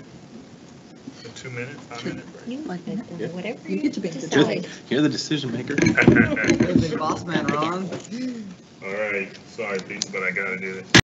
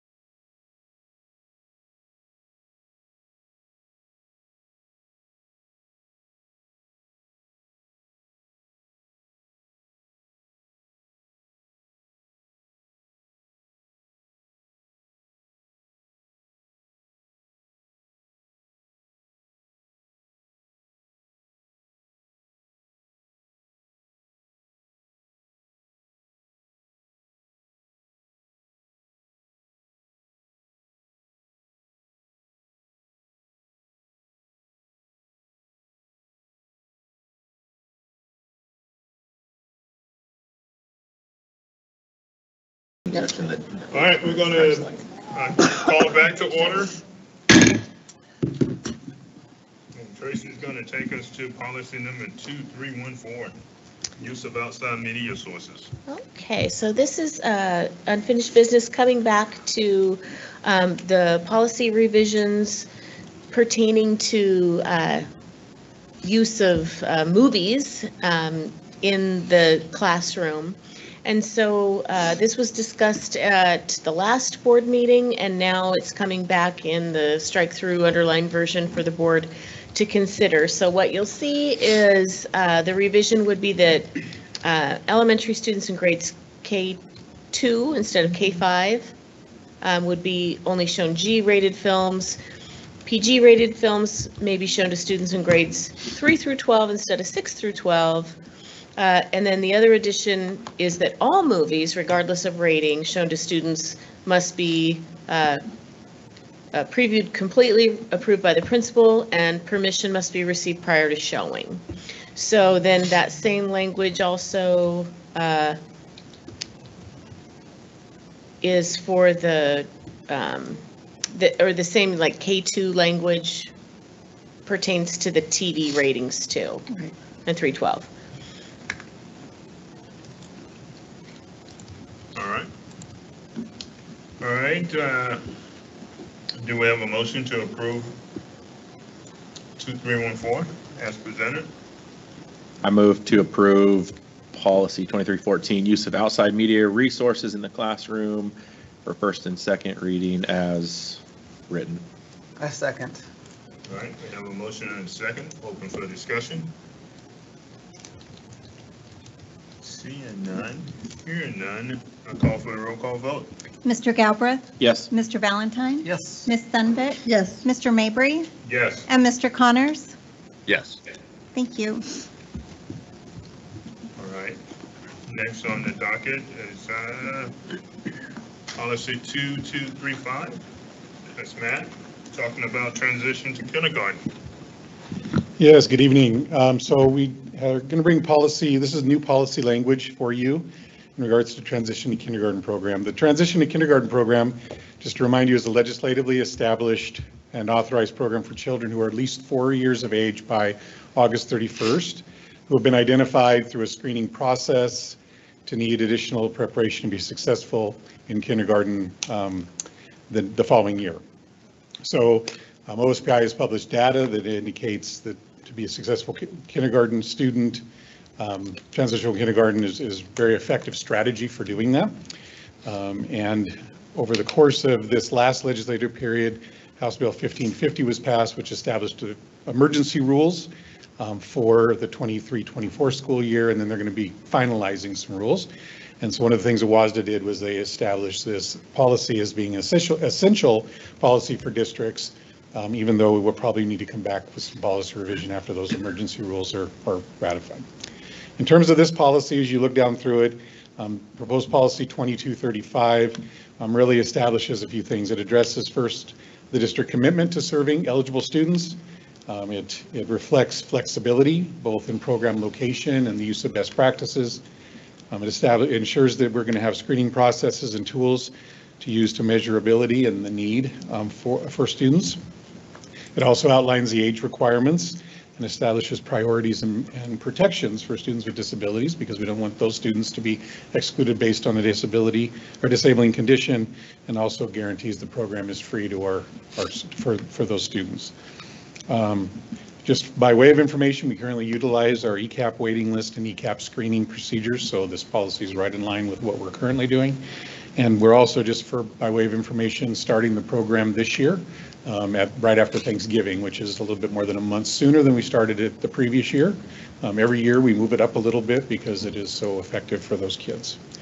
Um, So I bring this, this brand-new policy language to you um, for consideration. All right, do we have a motion? I would entertain a motion. I move to approve policy 2235 for first and second reading As presented, as presented. Do have a second? Second. All right, we have a motion and a second, open for discussion. Yes, Diane. So where it talks about um, using one or more instruments or methods of assessing and measuring. Is that a statewide or are we using our own district or ECEAP measurements? Um, So that is locally determined. Um, They, there were some changes in the emergency rules about that. Um, So they, so again, we feel like we are using, using our, our established procedures, the screening procedures are going to work. That may change when they, when they create more permanent rules, and we'll, That's we'll kind of with why I asked to see if they've given you any information at all yet about that? No? Okay. Did you have a hand up? No, I was just waiting. Okay. Just, just real quick, would, would something like this serve as having a, um, I know in some policies we have procedures. Would something like this, like the eligibility piece down, would that be more procedural where, where it can be updated as needed without the continued use or bringing back to the board to update the policy? Like, I'm just wondering if maybe the policy is the first paragraph and then the rest is a, a procedure. Yeah, and I, it- I, I kind of looked at it in the same way, but I think when we're talking about things such as screening processes, the procedures allow us to outline what those processes will be. Fairly certain that they're not going to be changing the requirements of being four-year-old, four years old by August 31st. So I think that, again, these things are probably not going to change, but the how we do it would be reflected in that procedure. Um, I had somewhat the same thought as I looked through it, but I, I think it's, it's good policy. Okay. Yes. And I would just add to that, the, um, they they didn't provide a model procedure, and so I wondered too if it's because of the emergency rules, and so maybe once they finalize the permanent rules, we'll be able to better separate policy and procedure language. And I think it was when we were talking with Senator Wellman, but I could be wrong on which one it was. Um, There were some people who didn't agree, and there was some funding issues, and do you remember all of the big mess on that? And um, they weren't able to get enough information in time. So, do you remember that being somewhat similar? I know we talked about it in the WSSDA meetings, and so this year is supposed to be gathering information that they should have had last year. So we will probably have to play catch up after they spend time doing that. All right, we have discussion and I'll open it for a roll call vote. Mr. Galbraith? Yes. Mr. Valentine? Yes. Ms. Sunbit? Yes. Mr. Mabry? Yes. Mr. Connors? Yes. Thank you. Very good. Thank you, Matt. Now we have a discussion on collective bargaining policy 5020. Dr. Traci Pierce. Back to me. Okay. And uh, Bronson Brown's also here this evening in case there are uh, any clarifying questions. He was also here when the policy was originally um, developed by the board, so. uh, So uh, Policy 5020 uh, outlines the board's uh, strong belief in the concept of transparent government and desire to have open bargaining and also acknowledges that uh, by open bargaining, they mean uh, having bargaining sessions between the district and labor unions um, open to observation by members of the public. And the current policy also acknowledges that that can only be done um, if it's agreed upon, if the, if the union agrees to it. Um, So that's been in place for a number of years. And um, the current policy, though, also says that all documents exchanged um, in uh, like traditional bargaining session would be posted to the district website. So that has been current practice for a number of years since this policy was originally established. However, a recent PERC ruling um, has, has identified that as an unfair labor practice unless the, the union agrees to it. So uh, that means uh, we need to update board policy to reflect that. So what you'll see um, is the, you know, the spirit of the policy, language remains intact, but um, it it clarifies that the opening of bargaining sessions to members of the public and the documents being exchanged are subject to agreement by both parties, um, that both sides must be willing to participate in that open bargaining, um, and directs administration to proceed with closed bargaining should any uh, bargaining group, you know, not want to participate in that open bargaining or, which includes the, now the posting of exchange documents. Now, the board also knows that, you know, as, as a board, um, you are uh, privy uh, to all of the information as elected officials, right, uh, about bargaining and, and it's uh, legal for us to, to meet um, and provide information to you um, outside of an executive session. It's not a posted meeting. So there's, there's no way for the district staff really to do anything without the board's uh, knowledge or authority. And the board's representing the public, right, in this whole process. So I just want to highlight that as well. Um, You know, we've been successfully bargaining uh, contracts, and the board's been uh, kept, you know, informed, and so uh, we're just updating the policy to conform with the PERC ruling and, and the law and to avoid unfair labor practices. And I'm just going to ask Bronson to clarify anything uh, or highlight anything that I didn't mention that I should have.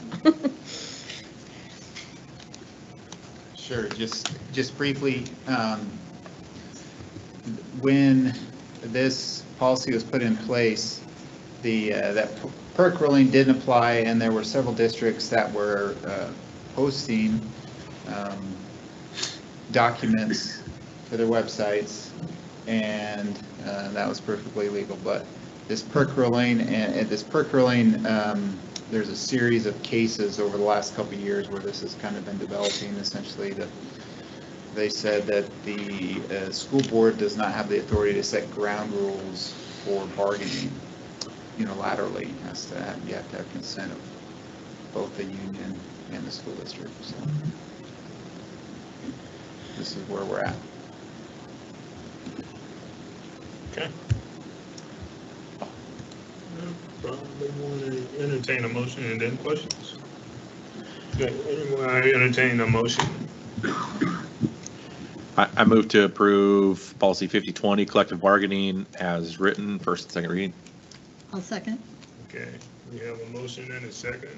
Are there any discussion? Yes. Uh, So Bronson, and maybe I need some history on this. So based on reading this, my understanding is from now past, the board's direction or the board's been completely willing to do open negotiations, post the back and forth, whatnot. But if the union says no, then it's closed. So our, our, our history, our stance has always been, yep, we're willing to do it, but the union has not okayed that, and so we haven't been able to do public bargaining. That's correct. And based on this policy, the board is saying, hey, we want open negotiations, we want documents exchanged, we want to open the public. But this policy says, but we realize we have to have consent of, of the union to do it too. So Why wouldn't the union want to help? Just make a, a- I just want to clarify um, and, and make sure that, um, so current, currently, like, we've, we've not had anyone, any uh, bargaining unit consent to opening um, meetings for public observation. And that, because that was the definition, right, of open bargaining. But the current policy said that we could, that that basically directed the district to post exchange documents regardless of whether, you know, the union agreed to it or not. It wasn't discussed as part of the bargain. So we have in recent history um, had bargains that were not open to public observation, but the, but the, the documents were being posted online. But now the PERC ruling is saying you can't do that unless consent's given. Like, we didn't, it wasn't, consent wasn't discussed previously with the, with the unions on that. Because the policy said you need to do that. Am I making sense, and is that And that policy consistent was with put in what? place in uh, 2019. And, I Yeah, I'm, I'm just trying to This is a understand, because I know, I change know this has been a big practice. topic, and, and it seems like as a board, as a district, we're all for opening the door and letting people in and transparent and all this stuff, but it's a two-way street, so at the end of the day, the union's the one closing the door. If we're open to it, and we're saying let's do it, then and the union doesn't agree to it, then, we- then we're behind the closed door. So we, district board, are all, all for that transparency, and it just doesn't seem like we're, our counterpart is open to that. Yeah. That's the And- and I history, I right? Like, that's, I understanding when- that I wasn't correctly? here when this policy got adopted, um, but it does, it, it, it- the board at the time, right? I think the policy reflects the sentiment of the board of the time of, of wanting this to all be open, um, directing the district to open certain parts of it. um, But it's a two-way street and PERC is saying that both parties have to agree. Right, and so now though, going forward, if, if the board directed the district, yes, we, we want this open, transparent bargaining, the union would have to say no, and then we would be behind closed doors, correct? Uh, The, the union would have to agree that, yes, we would open things to So the they would say- public they and would that, say no. ex- and that documents would be exchanged. And if at the initial session, the union says, no, we don't want to do that, then we, we don't do it. Yeah, okay. Thank you. It's too bad. Okay, all right. Uh, Any further discussion? Seeing none, hearing none, we're open for the uh, vote. Roll call vote. Mr. Galbraith, Yes. Mr. Valentine, No. Ms. Sunvik, Yes. Mr. Mabry, Yes. and Mr. Connors. Yes. Thank you. Thanks, Bronson. All right, and now we're on to uh, policy 5161, civility in the workplace. Okay, so um, the board's priority uh, really um, made me uh, take a look at the WSSDA model policy that was recently developed about uh, civility in the workplace. And so um, this is the opportunity to codify in policy the, that board priority and to get really clear um, about, you know, what the expectations are of stakeholders and in the WSSDA model policy, just like the board priority, it spells out who those stakeholders are, including the board, um, employees of the district, parents, volunteers, contractors, and visitors. And so um, the policy says that the board expects all stakeholders to treat each other and students with dignity and respect. It's also kind of reflecting on the conversation at the Superintendent Student Advisory Council today, which was, uh, you know, a lot about um, wanting students to treat each other in the way that is kind of outlined here in the policy and wanting to ensure that um, students and teachers are treating each other this way too. So I just think it's really timely. The policy also clearly identifies what is uncivil conduct. Uh, And, um, and it highlights the fact that, you know, uncivil conduct doesn't include the expression of controversial differing viewpoints. You know, this is not about limiting people's free speech or anything like that. Um, It's about, you know, a, a, being respectful of one another, uh, respecting each other's dignity, and, um, you know, uh, when, when there are disagreements, doing so in a fashion that doesn't, you know, violate anybody's rights or, um, you know, become uncivil. So this is all verbatim WSSDA model policy. Um, And it also provides some guidance to um, everyone in the system for um, addressing uncivil conduct. So if, you know, if people are acting uncivilly, um, these are steps that uh, people can take and, and that supervisors do have an obligation to um, address uncivil behavior and, um, and, and try to make things uh, better. We have current policy that outlines for staff um, expectations, but this one gets a little more specific. And, um, and it also, the policy just highlights the fact that, you know, if people are on our school campuses and refusing to act civilly or, um, you know, follow the directives of, uh, of supervisors, of building administrators and so forth, when there is uncivil behavior, that they are, you know, subject to um, notice of, notice of trespass. We can ask them and, and tell, tell them, you know, you can't be on our campuses anymore. So anyway, uh, that's kind of the policy in a nutshell. It's all new policy language, so there's no strike through underline. Okay, anyone like to uh, make a motion? Move to approve policy 5161, civility in the workplace for first and second reading. I second that. Okay, we have a motion and a second, open for discussion. Yes, um, so this was the standard, um, and then you, f- you feel the need for this, like, what's, I mean, I know you had the meeting today or this week now, but, but that, this was obviously coming before that. So like, what, why did you feel the need to, for this? Because the board identified as a priority. Um, Okay. It's on the, it's on your board priorities that you all identified in June, and I don't have the wording right in front of me, but you saw it on a slide earlier, and it shows up on the strategic objectives, that um, you want to ensure that we have an environment where there's respectful treatment of all, et cetera, et cetera. So having a, having policy language is one step in uh, helping to create that. Now, uh, having a policy doesn't mean, you know, magically now everyone's going to be respectful and so forth, but having policy is really important to have that on the books because it makes a strong statement um, from the board about, you know, that we're serious about this and provides some real concrete examples and all of that. So um, I've been working on this because the board identified it as a priority. I was actually hoping you were gonna say that, and that was gonna lead me to my next question. Um, my next question was, so really, this is a st- allowing us to di- potentially discipline better off of a standard. It's, it's allowing us to set, set ground rules so so that we can take action on those ground rules and discipline better.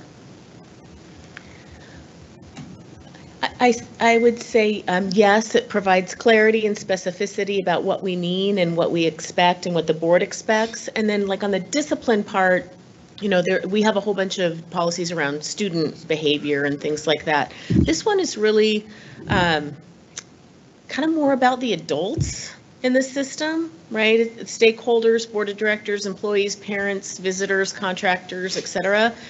Uh, Not to say students aren't a part of this, but there's also other policy about student behavior expectations. So it's, because, you know, but I guess when you're saying discipline, you know, for staff members or something, if people are violating that, yes, absolutely. Or like consequences, natural consequences for people who aren't our employees or aren't our students for, So I like that. Yeah. And then where I, where I was kind of going with it was like the bullying type thing and then, Mm-hmm. and strengthening that whole area.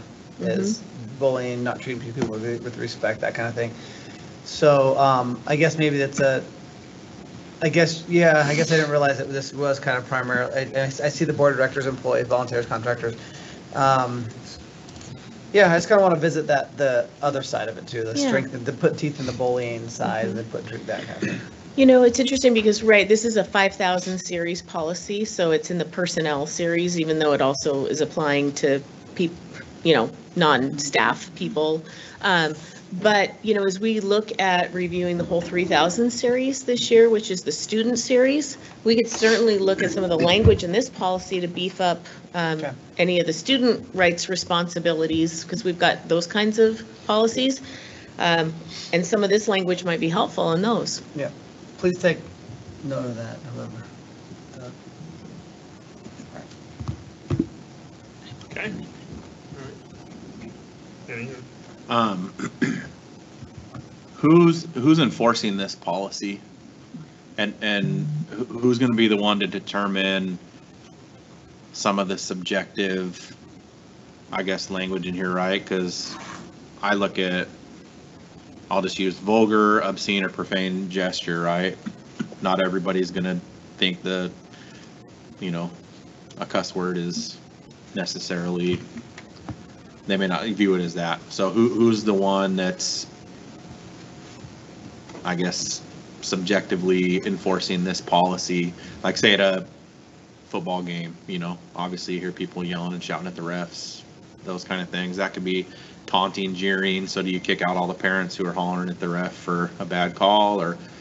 So I'm just trying to figure out who's going to enforce the, mm-hmm. these, this policy. Mm-hmm. Well, I mean, I think, I, I, I think we presently have expectations that people shouldn't be taunting or jeering or swearing at refs and things like that at games. Um, So I think part of this just like clarifies what is ex- expected. Um,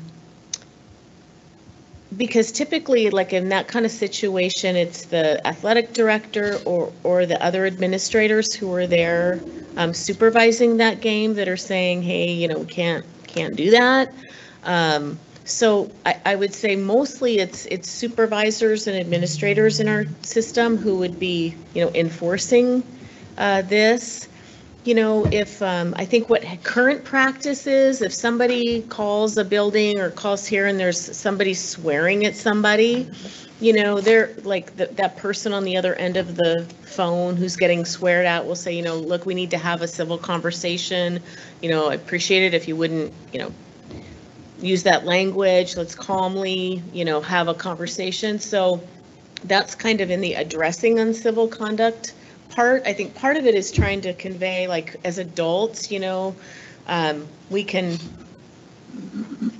we can um, set boundaries, you know, and, and politely warn somebody, I guess, who, you know, if, if, if a parent, I'll just say, if a parent is yelling and screaming and swearing at a teacher, for example, that teacher has the right to say, I'd appreciate it, you know, if you wouldn't swear at me, so we can have a conversation. And then it's, and then if that isn't working, then I think that it, the administrator needs to step in, the principal needs to step in and help, um, you know, de-escalate that, that situation and kind of clearly outline for the person, this is what, this is how we need to act.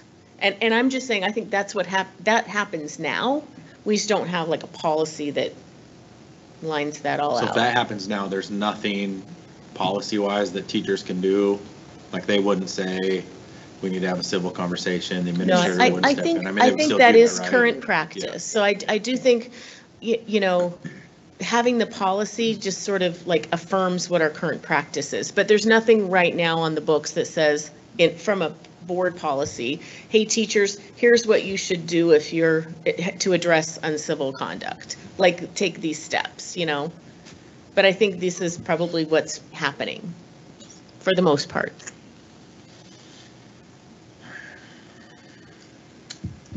Okay. Any further discussion, concerns? Gabe, you like, you have a question? Scott better know this. since No, I'm- just, I just feel like there's some subjectivity to it. I, I think if everybody has the ability to define it based on their own subjectivity, I just think it, Well, I- it's, I'll say this, uh, from work, from the work experience. If anybody is objected to anything, it needs to be addressed, and that would determine the severity of it. If someone feels objected to, we, at- I'm speaking solely at work, I can't, I can't go up and say, no, you really weren't, weren't bothered by that. That didn't offend you. It has to be addressed. sure, but someone could come up and have a conversation with you and maybe share some things and it, it may offend you and they could go to Diane and Micah and share things and it may not offend them. So Right. you're, you, you would have a different definition of civility and it would be subjective to your thoughts in your process where it wouldn't be the other. So if they spent the entire time talking to Diane and Micah and sharing the same way and whatever, and then all of a sudden they shared with you and then all of a sudden it was like, oh no, we're, now we got this policy and we need to discuss it. It just, it I don't know, it just feels really subjective to me based on mm-hmm. everybody's own opinion of civility. Yeah. Uh, just one quick thing. Just because it's brought to someone else doesn't mean that you're gonna get punished That's because of it. that's what I was It's discussed and said, okay, uh, as a group or a policy, this is not offensive, we're gonna move on from this. But it, like, now, excuse me, I'll Well, I'm that's good. I was going to say a couple of things. One, I think that the, the policy um, tries to define uncivil conduct uh, in a kind of a common sense way, right? Like calling people names, using vulgar, disrespectful language, you know, yelling at people, using slurs, um, getting in people's faces, right? Getting in their personal space, like that all is like uncivil. And then it, I like this part, and that's why I wanted to highlight it again. It says uncivil conduct does not include the expression of controversial or differing viewpoints that may be offensive to some persons, so long as the ideas are presented in a respectful manner and at a time and place that are appropriate, and that such expression doesn't material disrupt and may not be reasonably anticipated to disrupt, et cetera, right? So I could, I could have a very different viewpoint from someone else and calmly and, you know, talk about that different viewpoint. If I'm screaming at them and getting in their face and gesturing and calling names, then, then that would be uncivil conduct. But if I'm expressing my opinion, which is potentially controversial to whoever's on the other end of it, if I'm doing that in a respectful manner, um, then that's not uncivil conduct, according to the policy. All right. And uh, we, we have a motion and a second in discussion. Uh, Any more discussion? Seeing none, hearing none, then we're going to call for the roll call vote. Mr. Galbraith, No. Mr. Valentine, Yes. Ms. Sunvik, Yes. Mr. Mabry, Yes. and Mr. Connors. Yes. Thank you. All right. Thank you, Traci. Just want to remind, remind Mallory that you can always speak up if you have anything to say in these discussions. Doesn't she get a vote? Didn't we? Jot that down. We never got to. Yeah. Uh, sorry, that's it. We, we, we'll, we'll talk, we have talked in the past about having your vote. We, we'll discuss that later. Just uh, on that topic real quick, Yeah, if I may, um, when Mallory and I met, we did review the board policy um, that um, allows the board to ask for an advisory vote from the student board rep and the board rep to either say yes, no, or abstain. I did say to Mallory, you know, this is your first board meeting, you know, we'll kind of ease into that. I didn't think anything on the, I, I didn't think there's maybe anything on the agenda that would be, so that's, that's, uh, that's my fault. I if thought maybe the- that, that might have been a discussion she could have got in a little Okay. bit, be- But- given the thing today and You can everything. always ask questions. Yeah, But Just that, My that's, fault, go for it. I'll share your. they have that right now though, right? The advisory vote. correct, We- and, and what it's we said in policy, practice right? is like, before the meeting, just to give the board rep a heads up, I, I would, moving, you know, I would say, this item on the agenda, the board's gonna ask for an advisory vote, so there's no, they're not surprised, and this item, this item, I made, I thought since it was our first meeting and I didn't think there was really anything on the agenda, I told her I don't think there's anything for an advisory vote. So that's my fault if the board wanted an advisory Well, vote. no, You need a little. I was the just items. referring to, just, I just, I just wanted her to know that she's welcome to make comments at any point. Yes. In any part of the discussion, at any presentation, so that we, that's why you're here. So, uh, to hear from you, so I just want to just encourage you to go for it. So that's, that's Yell at great. Ron, yell at Ron. Yeah, please do.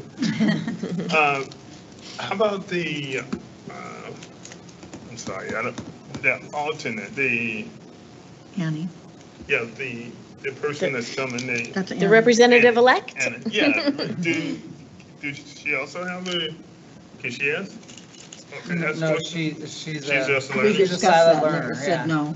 So, so all year she just gonna, I, I, I mean, I think they can talk beforehand if there's questions Before and that she after. may have, I think. They can have like a little. if you want to do sign language. we can, Okay, all right, very good. Gavel. Uh, next meeting agenda. Uh, on the next meeting agenda, we have study session, so we're here earlier, right? Is that, that's the day we're here at, Four uh, four to five PM Four for the study five. session. four to five P M. And then, uh, also on the agenda is family, parent involvement and engagement efforts. And I'd like to propose something else that's a little controversial.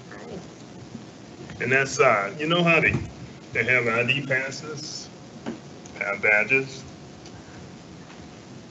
Is it possible, is it an intrusion, and I guess I want to, the legal, did he leave? Anyway, is it an intrusion on students' rights if they have RFID uh, capabilities on those badges so that we know when the kids go into school, we know when they come out, it's all captured on the badge? Oh, and then have the mechanism in the building to read out. We don't have to answer it I'll now, do- but if we can put Add that on. that on the agenda. Yeah. That'd be, yeah, that'd, that'd that'd be a good discussion, Ron. Okay. All right, so uh, we will now move into executive session. uh, As estimated to last about 30 minutes. At the end of that session, I'll come back out and uh, close down the meeting, by by hitting the gavel very hard. And that would be the, when we adjourn. So we're not adjourned now, we're going to executive session, okay? So if you guys want to hang out for 30, 40 minutes, oh, I can, I can only say 30 minutes, So yeah. you could let them know there's no There will be further no business. further- or Yeah, there's anything. no further business tonight. There is no further business.